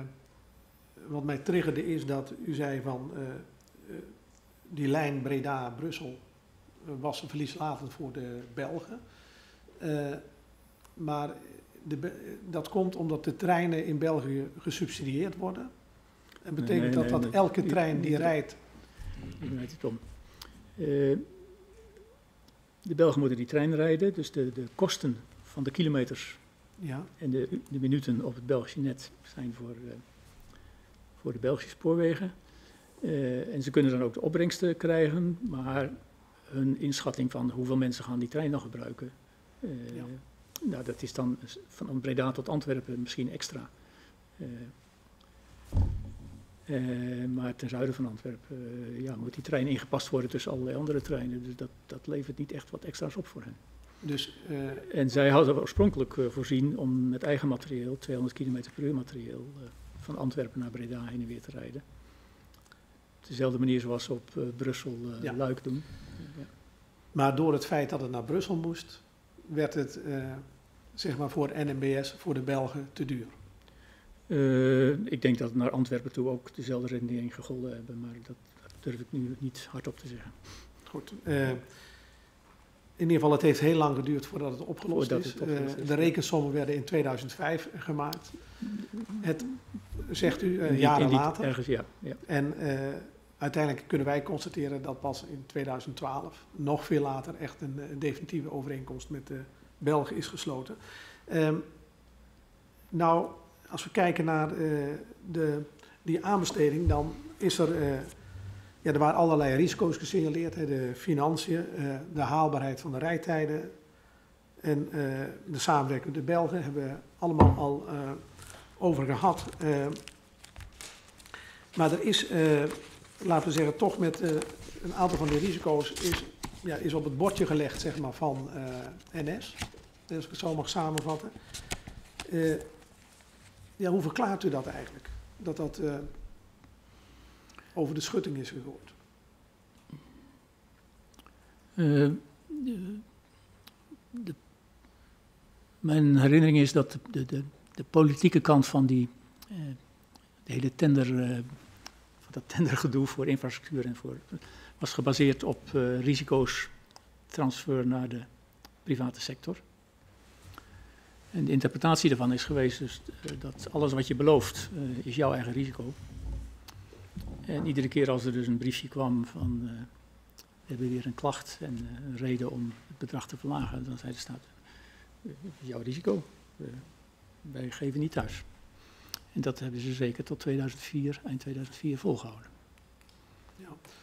En eh, dat gold ook voor de, voor de rijtijden en de problemen met Dat geldt voor alle bel. problemen. Ja. De, Ja. Van eh, los Uiteindelijk, uiteindelijk in zo'n constellatie wordt natuurlijk elke, elke tegenslag wordt vertaal- vertaald in een financiële claim. Van, eh, wij willen de verlaging van het bedrag, want dit of dit. En Nou ja. daar die hebben we ook allemaal trouw doorgerekend. Eh, maar het argument blijft altijd van, net zolang tot het niet meer ging, in 2004, 2005, was het duidelijk dat die, die 30% zich zeker voordeed. Ja, ja. Ja. Ehm, de, want het is eigenlijk een soort contract, is contracthouding. Ja. Zo mag ik het Ja. toch wel eh, Ja. samenvatten. dat eh, Juridische eh, contractopvatting. en eh, had de staat zich ook anders kunnen opstellen? Ja, ten dele moest dat ook natuurlijk wel, want de staat moest uiteindelijk de totale oplevering regelen. En synchroniseren en het testprogramma draaien. Dus normaal gesproken in zo'n concessie heb je een soort partnerovereenkomst. Waarbij je zegt van dit is mijn deel, dit is mijn risico en dat is jouw deel en jouw risico. Dus als bijvoorbeeld het bod gebaseerd was op overheidsbeleid, eh, dan had er dus ergens een, een conditie moeten zijn van wat gebeurt er als de overheid zijn beleid verandert. Nou, eh, die conditie is ergens verborgen in de concessieovereenkomst. Is er wel zo'n conditie? Wat zijn de gronden voor wijziging van het contract? Eh, maar het was beter geweest om dat van meet af aan eh, erin te hebben, zodat, je, zodat het duidelijk is waar het departement voor staat en waar de vervoerder voor staat. Maar kunt u dat nog eens wat concreet maken? Eh, dus u zegt van, eh, ja, het lag nou te veel, de risico's, hè, die werden geparkeerd bij NS, die moeten het maar zien te realiseren. Ja. U zegt, ja, we hadden meer als, toch meer samenwerking moeten hebben. Ja. Mag ik, en als de overheid bepaalde beleidswijzigingen doorvoert, eh, dan moet er gesproken worden. Maar kunt u concreet noemen welke beleidswijzigingen, waar denkt u dan aan? Wat had Nou, er dan kijk, in moeten staan bijvoorbeeld? Ja, als je dus in de vervoersmarkt voor 15 jaar een contract sluit, terwijl je niet, ni- nog niks weet over goedkope vliegers en eh, of rekeningrijden wel of niet doorgaat, dan is dat eigenlijk een beetje. eh, nou, dat is voor de aanbieder een zeer risicovolle zaak. En als hij dat toch meeneemt, kun je zeggen: Nou ja, het is jouw keus, het is jouw risico. Eh, en zo, dat, dat is zo gelopen. Nou is het toch zo dat eh, als de vervoerder geen succes heeft, heeft de overheid ook geen succes met een project als dit. Dus als je zeker wilt zijn dat je succesvol bent als overheid, dan moet je toch kijken naar hoe je elkaar kunt helpen om dat succes te bereiken. En ja, dat zat er dus niet in. Eh, Ja, als ik u op dit punt mag samenvatten, dan zegt u, eh men had eigenlijk niet die contract is contracthouding moeten hanteren, maar toch meer het, eh, het samenwerkingsmodel Ja. en heel concreet is, bijvoorbeeld. is vanuit de projectorganisatie geprobeerd hoor. Het implementatieplan was ook gericht om dat te doen. Ja. Maar NS heeft eh, ook de eerste jaren een zeer ambtelijk claimkoers gevaren. Ja. Eh, en geen opening van zaken gegeven. Dus dat, dat is ook pas na drie of vier jaar is dat wat normaler geworden. Ehm, als ik even kijk, want u eh, heeft, als we zo uw eh, werk bestuderen, een vrij voorspellende gave. En dat is prettig, want u had net al gezegd van, ja, in 2011 zou bij een bepaald scenario eh HSA, of de, hè, de, de dochter van NS, failliet kunnen gaan als de prognoses tegenvallen. Dus dat had u redelijk goed eh, voorspeld. Eh, maar u heeft meer gedaan. U heeft ook eh, allerlei eh gedragsscenario's gemaakt. Ja. Van eh, als dit gebeurt, als dat is. Eh, Voordat we dat eh, onderdeel eh, eh, aanpakken, terecht komt u daar zo meteen op, heeft de heer Elias nog even een, een korte vraag over het vorige onderwerp. Ja, nog heel even over die, die contract is contracthouding.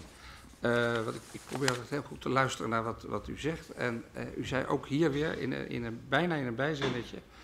eh, eh, de NS hield de kaarten ook wel erg tegen de borst. Ja. Eh, dus wellicht voor de nuancering de vraag... eh, eh, lag het ook niet enigszins aan de NS zelf... dat die contract is contracthouding eh, eh, werd gehanteerd? Want ja, eh, op verkeer en waterstaat hoorden ze ook niet zoveel... van waar die NS nou precies mee bezig was... hoe die, hoe die sommen zaten enzovoort. Ja, dus in de tijd dat de tender liep, zat NS natuurlijk onder druk van de overheid met derde eeuw spoor, het herstelplan, uh, toerhoedstudie, alle mogelijke zaken liepen tegelijk. En dan moest je ook nog even de concurrentie buiten de deur zien te houden via de Hazel Zuid. en in al die dossiers probeert de overheid dan allerlei input te, vragen, te leveren en output te leveren. Het spoorsysteem blijft een gesloten systeem, dus je kunt niet al die dingen tegelijk willen. Want als je op één punt iets eruit haalt, dan moet je op een heleboel andere plaatsen moet je iets corrigeren. Dus dat was een ingewikkelde kluwe. En de neiging van de NES om tegenover te zeggen van je, je, je kunt me wat met al die verhalen. straks ga je me de stadsgewestelijke nesten nog af, netten nog af, afnemen en de lijnen in Noord-Holland. Dus ik ga je niet alles vertellen. Dus die houding kan ik me heel goed voorstellen in al die discussies. Maar die houding maakte ook maakte dat ook, over en weer. De, de wantrouwen was bepaald, bepaald, niet zo klein tussen de beide partijen. Op al die dossiers. Dus, dus. Ja. Um, ja, ik noemde net even dat u uh, gedragsscenario's heeft gemaakt. en ook gedeeld met het ministerie. over hoe dat zaken zich zouden kunnen ontwikkelen met betrekking tot de hoge snelheidslijn en het vervoer daarop. Um, ja, zou u dat nog eens kunnen schetsen? Wat zijn eigenlijk gedragsscenario's? Okay. Van, van het begin af aan heb ik uh, scenario's gemaakt om aan de, aan de mensen met wat minder spoorkennis om uit te leggen hoe dingen kunnen verlopen in de werk. Dus in 1999 bijvoorbeeld een, uh, een lijst gemaakt van wat kan er allemaal misgaan als je met nieuwe treinen op nieuwe infrastructuur rijdt. Wat voor kinderziektes, wat voor aanloopproblemen kun je verwachten? In welke sector en hoe kun je daar wat aan doen? Dus hebben ook voor het infraproviderdeelte risico's gemaakt, van, uh, risicoscenario's gemaakt. Van hoe kan het fout aflopen met onze dialoog met de brandweer, zodat de lijn niet open kan aan het eind. En in dit geval voor de vervoerstender uh, we in het najaar van 2001 gezegd van ja, hoe moeten we nou met, met, die, met die HSA omgaan? Vanuit het het vervoersteam uit de projectorganisatie. En uh, inclusief de mensen in DGP die daarbij betrokken waren. Uh, waarom gedragen ze zich zoals ze gedragen en hoe kan dat dan verder lopen? Dus daar moet je aannames over doen. En daar zijn we mee begonnen. We hebben uiteindelijk drie, drie verschillende aannames als potentieel waar uh, uh, meegenomen. En die hebben we elk half jaar geëvalueerd en gezegd van ja, hoe zit het nu, waar zijn we nu mee bezig? En dat gaat dus over het gedrag van HSA en van het departement, van onszelf, eh, van de infraprovider eh, kant van het project. Zodat je zegt van oké, nou gaan we die kant op, dan moeten we daar aan risicolijstjes gaan werken om te zorgen. Ja.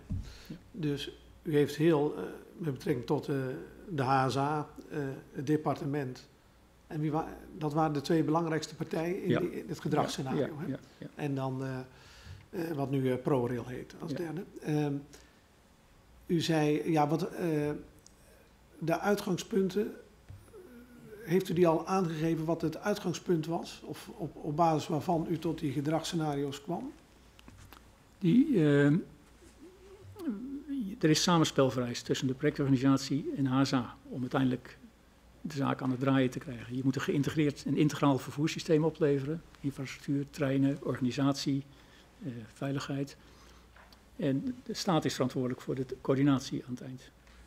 Dus dat betekent dat je het samenspel met die partijen moet organiseren. Maar als die partijen niet willen of zich gedragen op een manier waar je denkt, dan is het lastig om te bepalen hoe je dat samenspel het beste vorm kunt geven. Dus om te zorgen dat wij konden bepalen wat onze tactiek, strategie moest zijn, hebben we die scenario's Die scenario's gemaakt. En met wij bedoelt u het ministerie? Uh, het ministerie en, de project, en de projectorganisatie. Ja. En de projectorganisatie, ja, ja. ja, een onderdeel van het ministerie. En u zegt, ja, ik heb uh, drie scenario's uh, gemaakt. Ja, ja we hebben er verschillende gemaakt, maar we hebben er drie als misschien realistisch uitgekomen. drie realistische scenario's. En kunt u die scenario's eens schetsen? Wat leverde dat op aan informatie, aan materiaal? Ehm, ik zal u de titels, die zijn een beetje zwart-wit om te zorgen dat de hele club dat in zijn hoofd kan houden. De eerste is, uh, waarom gedragen ze NS zich zoals ze zich gedragen? Omdat ze hebben te hoog geboden en dat willen ze terugverdienen linksom of rechtsom. Uh, en dat als, ze dat als dat hun strategie is, dan betekent dat dat ze voortdurend wijzigingsvoorstellen en claims zullen indienen. En dat ze uh, alles wat de markt schaadt, alles wat geld kost, wordt geclaimd bij de staat. Dus dan moet je daarop bedacht zijn van hoe gaat dat dan werken. De tweede is, uh, NS wil de rekening verheffenen en DGP is te druk, het departement is te druk met zichzelf. Dus NS wil min of meer bewijzen dat het flauwekul is, het hele tendergedoe en een stukje van, het, van hun hoofdrailnet tenderen en dan weer terugkrijgen. Uh, en dat betekent dat ze steeds blijven bewijzen dat het niet werkt en dat het anders moet. Nou, daar horen dan wat details bij, maar dat is andere. En de laatste, die klinkt niet zo geweldig. Uh, eh, NS is een, knullig bedrijf en het beet het niet. Dat gaat uit van de situatie dat er op dat moment een uh, herstelplan in, de, in uw Tweede Kamer lag van de minister, waarin uitgelegd werd wat er allemaal mis was gegaan bij NS. Te weinig materieel, stakingen, veel vertragingen, eindeloze discussies over het prestatiecontract enzovoort. En als je daarnaar kijkt, dan zeg je van, het lijkt wel alsof er geen interne coördinatie is. Of dus op alle fronten uh, zijn ze aan het vechten, uh, maar er zit, je kunt er geen lijn in ontdekken. Dus blijkbaar sloft het. En dat betekent dat de planning waarschijnlijk steeds niet aangehouden wordt, dat er steeds een vlucht naar voren wordt gekozen. Uh, en dat je dus moet kijken van, als ze zich zo gaan gedragen, hoe kunnen wij dan het beste reageren, zodat we toch tot goede samenwerking komen en uiteindelijk een goede trein aan het rijden krijgen. En uh, goed, u heeft die scenario's uitgewerkt en dan moet ik even in 2001, hè? In, in november 2001 november hebben we die voor de, eerste, voor de, eerste, keer gemaakt als een soort en dan voorbereiding jaar, op wat komen. En dan keken we een aantal jaren vooruit? Elk half jaar. Uh, Hoeveel? Ja, ja, in elk scenario was een soort, uh, maar dat was een beetje dat moest ook een beetje een vrolijk verhaal zijn. Het was een soort voorspelling van hoe het dan af kon lopen. Ja, ja. Dus de eerste keer waren die erg uh, theoretisch. Mm. Uh, maar geleidelijk aan werd het steeds realistischer. Dat, en u hebt dat steeds bijgehouden. Nou, u heeft die drie scenario's ook geschetst. Ja. wat is nu daarvan werkelijkheid geworden?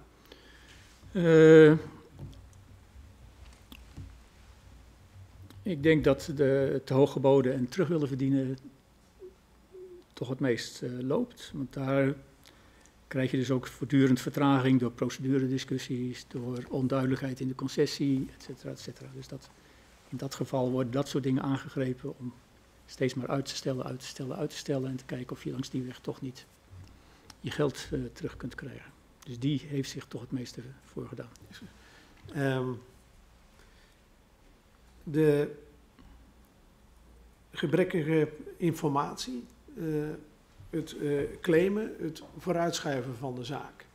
Uh, dat ja. soort gedragingen. Ja. Dat, dat speelde, dat zit ook in dat scenario van ja. proberen het, het te hoge bod eigenlijk als het ware terug te onderhandelen in de, in de loop der tijd. Dus dat, dus, dat, scenario heeft zich eigenlijk het meest verwe verwezenlijkt. Ja, dus dat, dat gebeurt natuurlijk ook al op het hoofdrailnet. Iedere keer als de staat niet duidelijk genoeg is, stoppen we gelijk met activiteiten bestellen we geen materieel meer op het hoofdrailnet of hier. Ja, ja. leggen we activiteiten stil. We kunnen geen materieel bestellen, want de staat is niet duidelijk. Dat soort, dat soort discussies krijg je ja, dan. Dus u zegt ook dat, heel concreet, even beperkend dan tot, uh, tot HAZA, het, uh, het vervoer op de hoge snelheidslijn, dat men ook het bestellen van de treinen, dus uh, NS dat bewust heeft uitgesteld om zeg maar, het ministerie onder druk te zetten? Nee, ik ben niet bij NS uh, geweest in die tijd, dus ik weet niet alles precies. Maar het zat in uw scenario? Maar in mijn scenario's werkt het zo, ja. Ja, ja. ja. Dus, en u heeft dat ook zo zien gebeuren? Ja. ja. Je moet altijd uitkijken dat je niet te veel gelooft in je eigen voorspellingen, maar...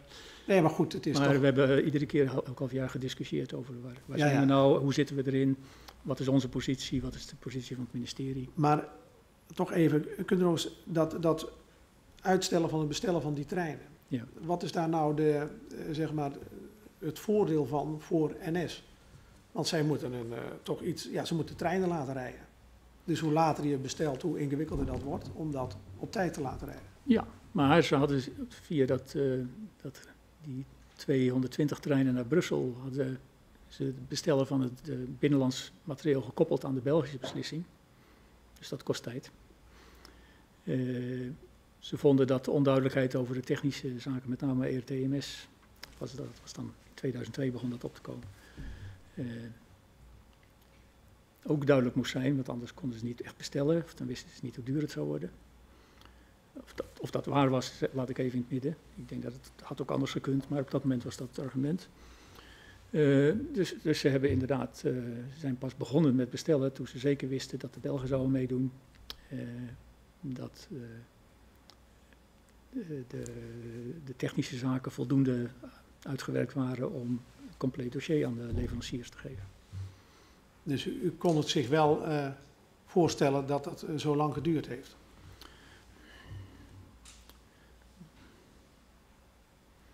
Ik weet niet of ik me heb geprobeerd dat voor te stellen. Ik, ik, vond, ik vond het niet nodig. Het had ook anders gekund. Maar... U vond het, men had wel die treinen meteen kunnen bestellen? Nou ja, kijk, als je, je, je, je als je die combinatie met de Belgen maakt, dan, uh, ja, dan, dan, als de Belgen langer wilden praten, of eerst weer de garantie van de Nederlandse staat willen, want, want de Belgen zeiden dus van, uh, kan de staat ons garanderen dat we na 15 jaar weer van die treinen af kunnen, als de concessie afgelopen is. Want wij hebben er verder geen employ voor. Hè, als wij aandeel nemen in die treinen. Dus die keken naar hun risico's en zeiden van wie neemt dat risico. Dus dat, dat kost tijd. Uh, nou, en zolang de Belgen het niet eens zijn, uh, gaan we niet bestellen. Ja. Dat heeft de meeste vertraging opgeleverd. Goed, u, uh, u zag dat in ieder geval duidelijk aankomen. U heeft bij die gedragsanalyse ook gekeken naar het departement zelf. Ja. Ja, en hoe zaten die in uw scenario's? Ja, dat, dat verliep een beetje over de, over de tijd. Uh,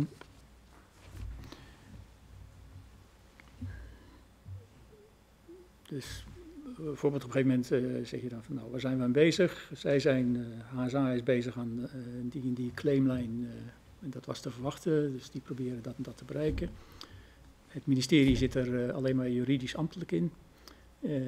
En wij proberen een soort bemiddelingsrol als projectteam of wat anders te bereiken. Ik weet niet, en dan schets je dat verhaal dus en zeg gaat dat werken of moeten we onze strategie aanpassen? Nou ja of nee, zo, zo ongeveer werkt dat. Dat en in het begin zat de, de contractbeheerder van het ministerie zat altijd bij onze besprekingen, zodat we het eens waren over aanpak en strategie. Later werd het wat minder. Ja, maar uw u zei, of ja, de projectorganisatie uh, zou om het proces toch goed te laten verlopen, een soort bemiddelende rol moeten spelen tussen nee, enerzijds het, het, het, ministerie of ja. Kijk, het, het ministerie zit in de positie van, het is uw risico, contract is contract. Maar dat helpt natuurlijk niet altijd om problemen op te lossen. Dus dan was het aan ons om te kijken of we toch niet wat aan de klachten of problemen van de HSA konden doen. Ja. En als hij zei zo nee, want we willen eerst geld zien en dan gaan we verder praten. Ja, dan hield het op. Als het wel werkte, dan konden we een eindje verder komen. Maar daaruit spreekt natuurlijk wel toch enige ambivalentie. Als ik even kijk naar het, het ministeriekant. Want er zit dus een groep zeg maar, van het ministerie die zegt contract is contract. Ja. Uh, zeg maar de, de wat meer financiële kant. En aan de andere kant uh, de mensen die ja, toch vinden, ja, er moet uiteindelijk wel een trein rijden enzovoort. Ja die daar iets anders in stonden en toch een wat meer uh, toenadering wenselijk hadden gevonden. Ja, dus het, implementatie, het implementatieplan van HSA was dus het, het, het werkplan voor de projectorganisatie en HSA samen. En als daar een mijlpaal in staat, in 2002 moet er materieel besteld worden en er wordt niet besteld, dan kun je aan het ministerie melden van ze hebben het niet besteld. Dus we gaan een probleem krijgen met de dienststellingsdatum. Ja. Uh, dan is het aan het ministerie om te zeggen van uh, daar gaan we wat mee doen. Of dan zeggen we nee, nee, nee. Gezien de, de situatie is dat risico ASA. Ja. Dus zo loopt dat. Um, als je dat mag samenvatten, al die, uh, wat u heeft uh, geanalyseerd aan scenario's, dan mag ik concluderen dat zeg maar het scenario waarbij dus NS eigenlijk de zaak, ja, de kaarten vanuit een bepaald wantrouwen tegen de borst hield. Dat ze de bestelling van de treinen zo lang mogelijk hebben uitgesteld. En dat ze voortdurend ook geprobeerd hebben om eh, terug te onderhandelen. Ja. Om het, eh, het bod wat ze gedaan hebben minder risicovol Ja. te maken. Ja, dus Zou ik dat zo ook er zijn diverse claims geweest waarbij in de brief stond van wij kunnen geen materieel bestellen als we niet eerst dit doen. En dan ging het antwoord terug, zolang u dat niet hebt gedaan, kunnen wij niet reageren op uw brief. En eh, als ik, ja, tot, tot slot, meneer Van Krieken, nou, want jij hebt een hele lange staat van dienst bij de spoorwegen. Dat eh, hebben we kunnen zien en niet alleen in Nederland, maar eigenlijk over de hele wereld eh, heeft u uw diensten aan kunnen bieden. Eh, als u dan kijkt, wat vindt u dan van het huidige vervoer over de hoge snelheidslijn?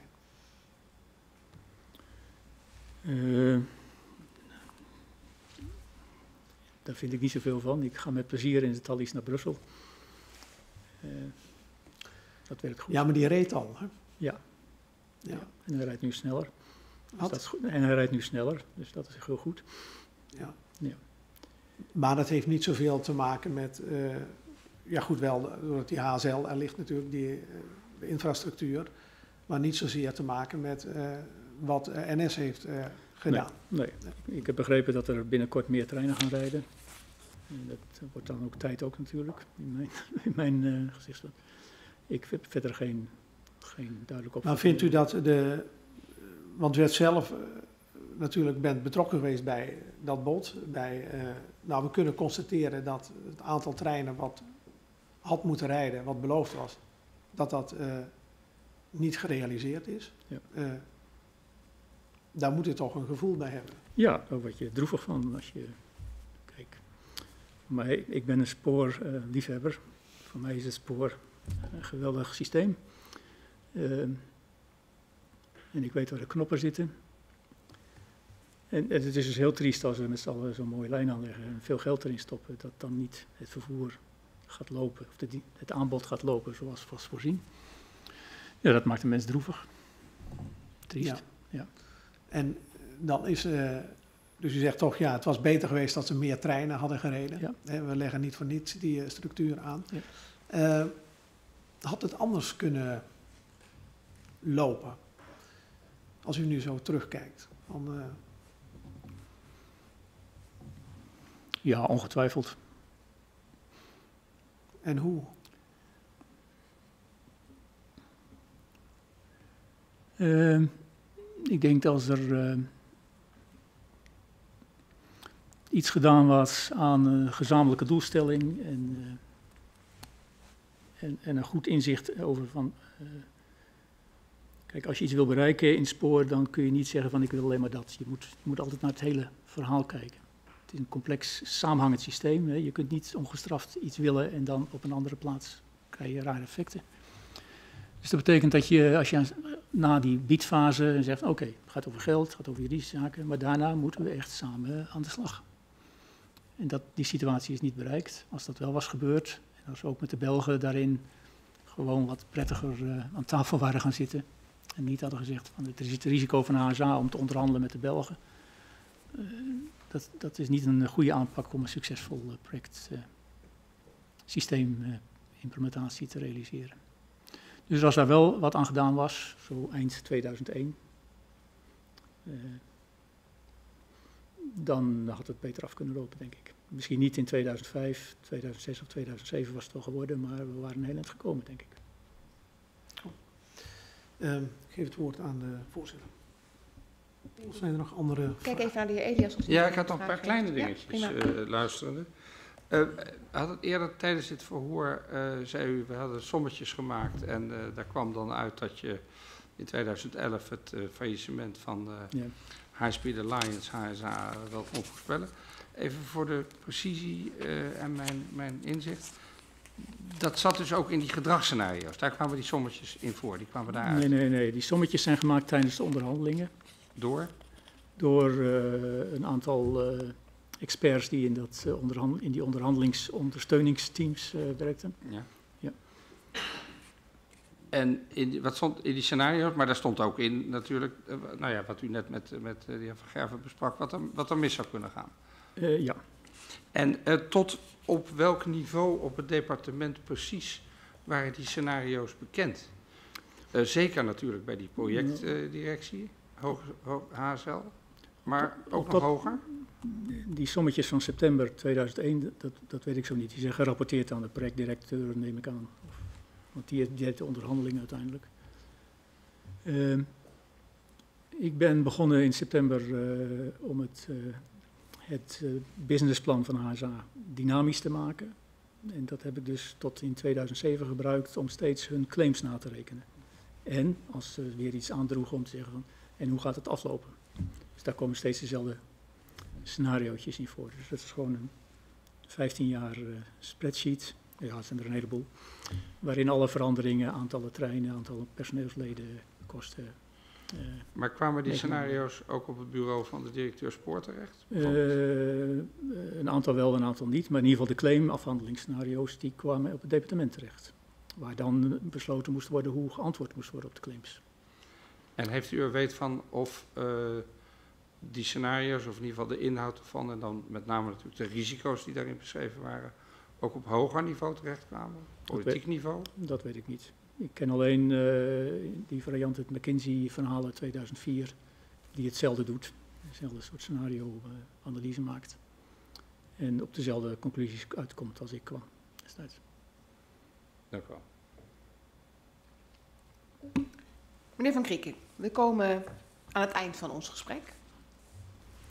U heeft eh, eh, de commissie veel kunnen vertellen, maar misschien zijn er nog zaken die wij u niet hebben gevraagd waarvan u zegt, goh, dat geef ik de commissie toch graag mee. Eh, nee, dank u wel. Dan heb ik toch nog één algemene slotvraag. Zijn eh, bij u onregelmatigheden bekend? Of heeft u aanleiding om te veronderstellen dat er onregelmatigheden zich in de procedure hebben voorgedaan in de periode waar u bij betrokken was? U bedoelt de tenderprocedure? Nou, ik, ik zou wel iets breder. Uw betrokkenheid bij het eh, proces, zoals wij dat vandaag aan de orde hebben gesteld, eh, is, een, is een periode. En he- heeft u in die periode weet gehad van onregelmatigheden, dingen die echt niet goed zijn gegaan? Ik, de, u, de verwarrende vraag. Op, op welk niveau bedoelt u dat? In niveau van fraudes. Oh, fraude. niveau Nee. van echt dat in die, Nee. in die eh, licht juridische zin onregelmatigheden. Nee. Dus een In slotvraag die, die in die zin heb ik geen eh, kennis van onregelmatigheden. Ja. dank u wel. Dan sluit ik hiermee ons verhoor. Bedankt. En sluit hiermee voor nu de vergadering.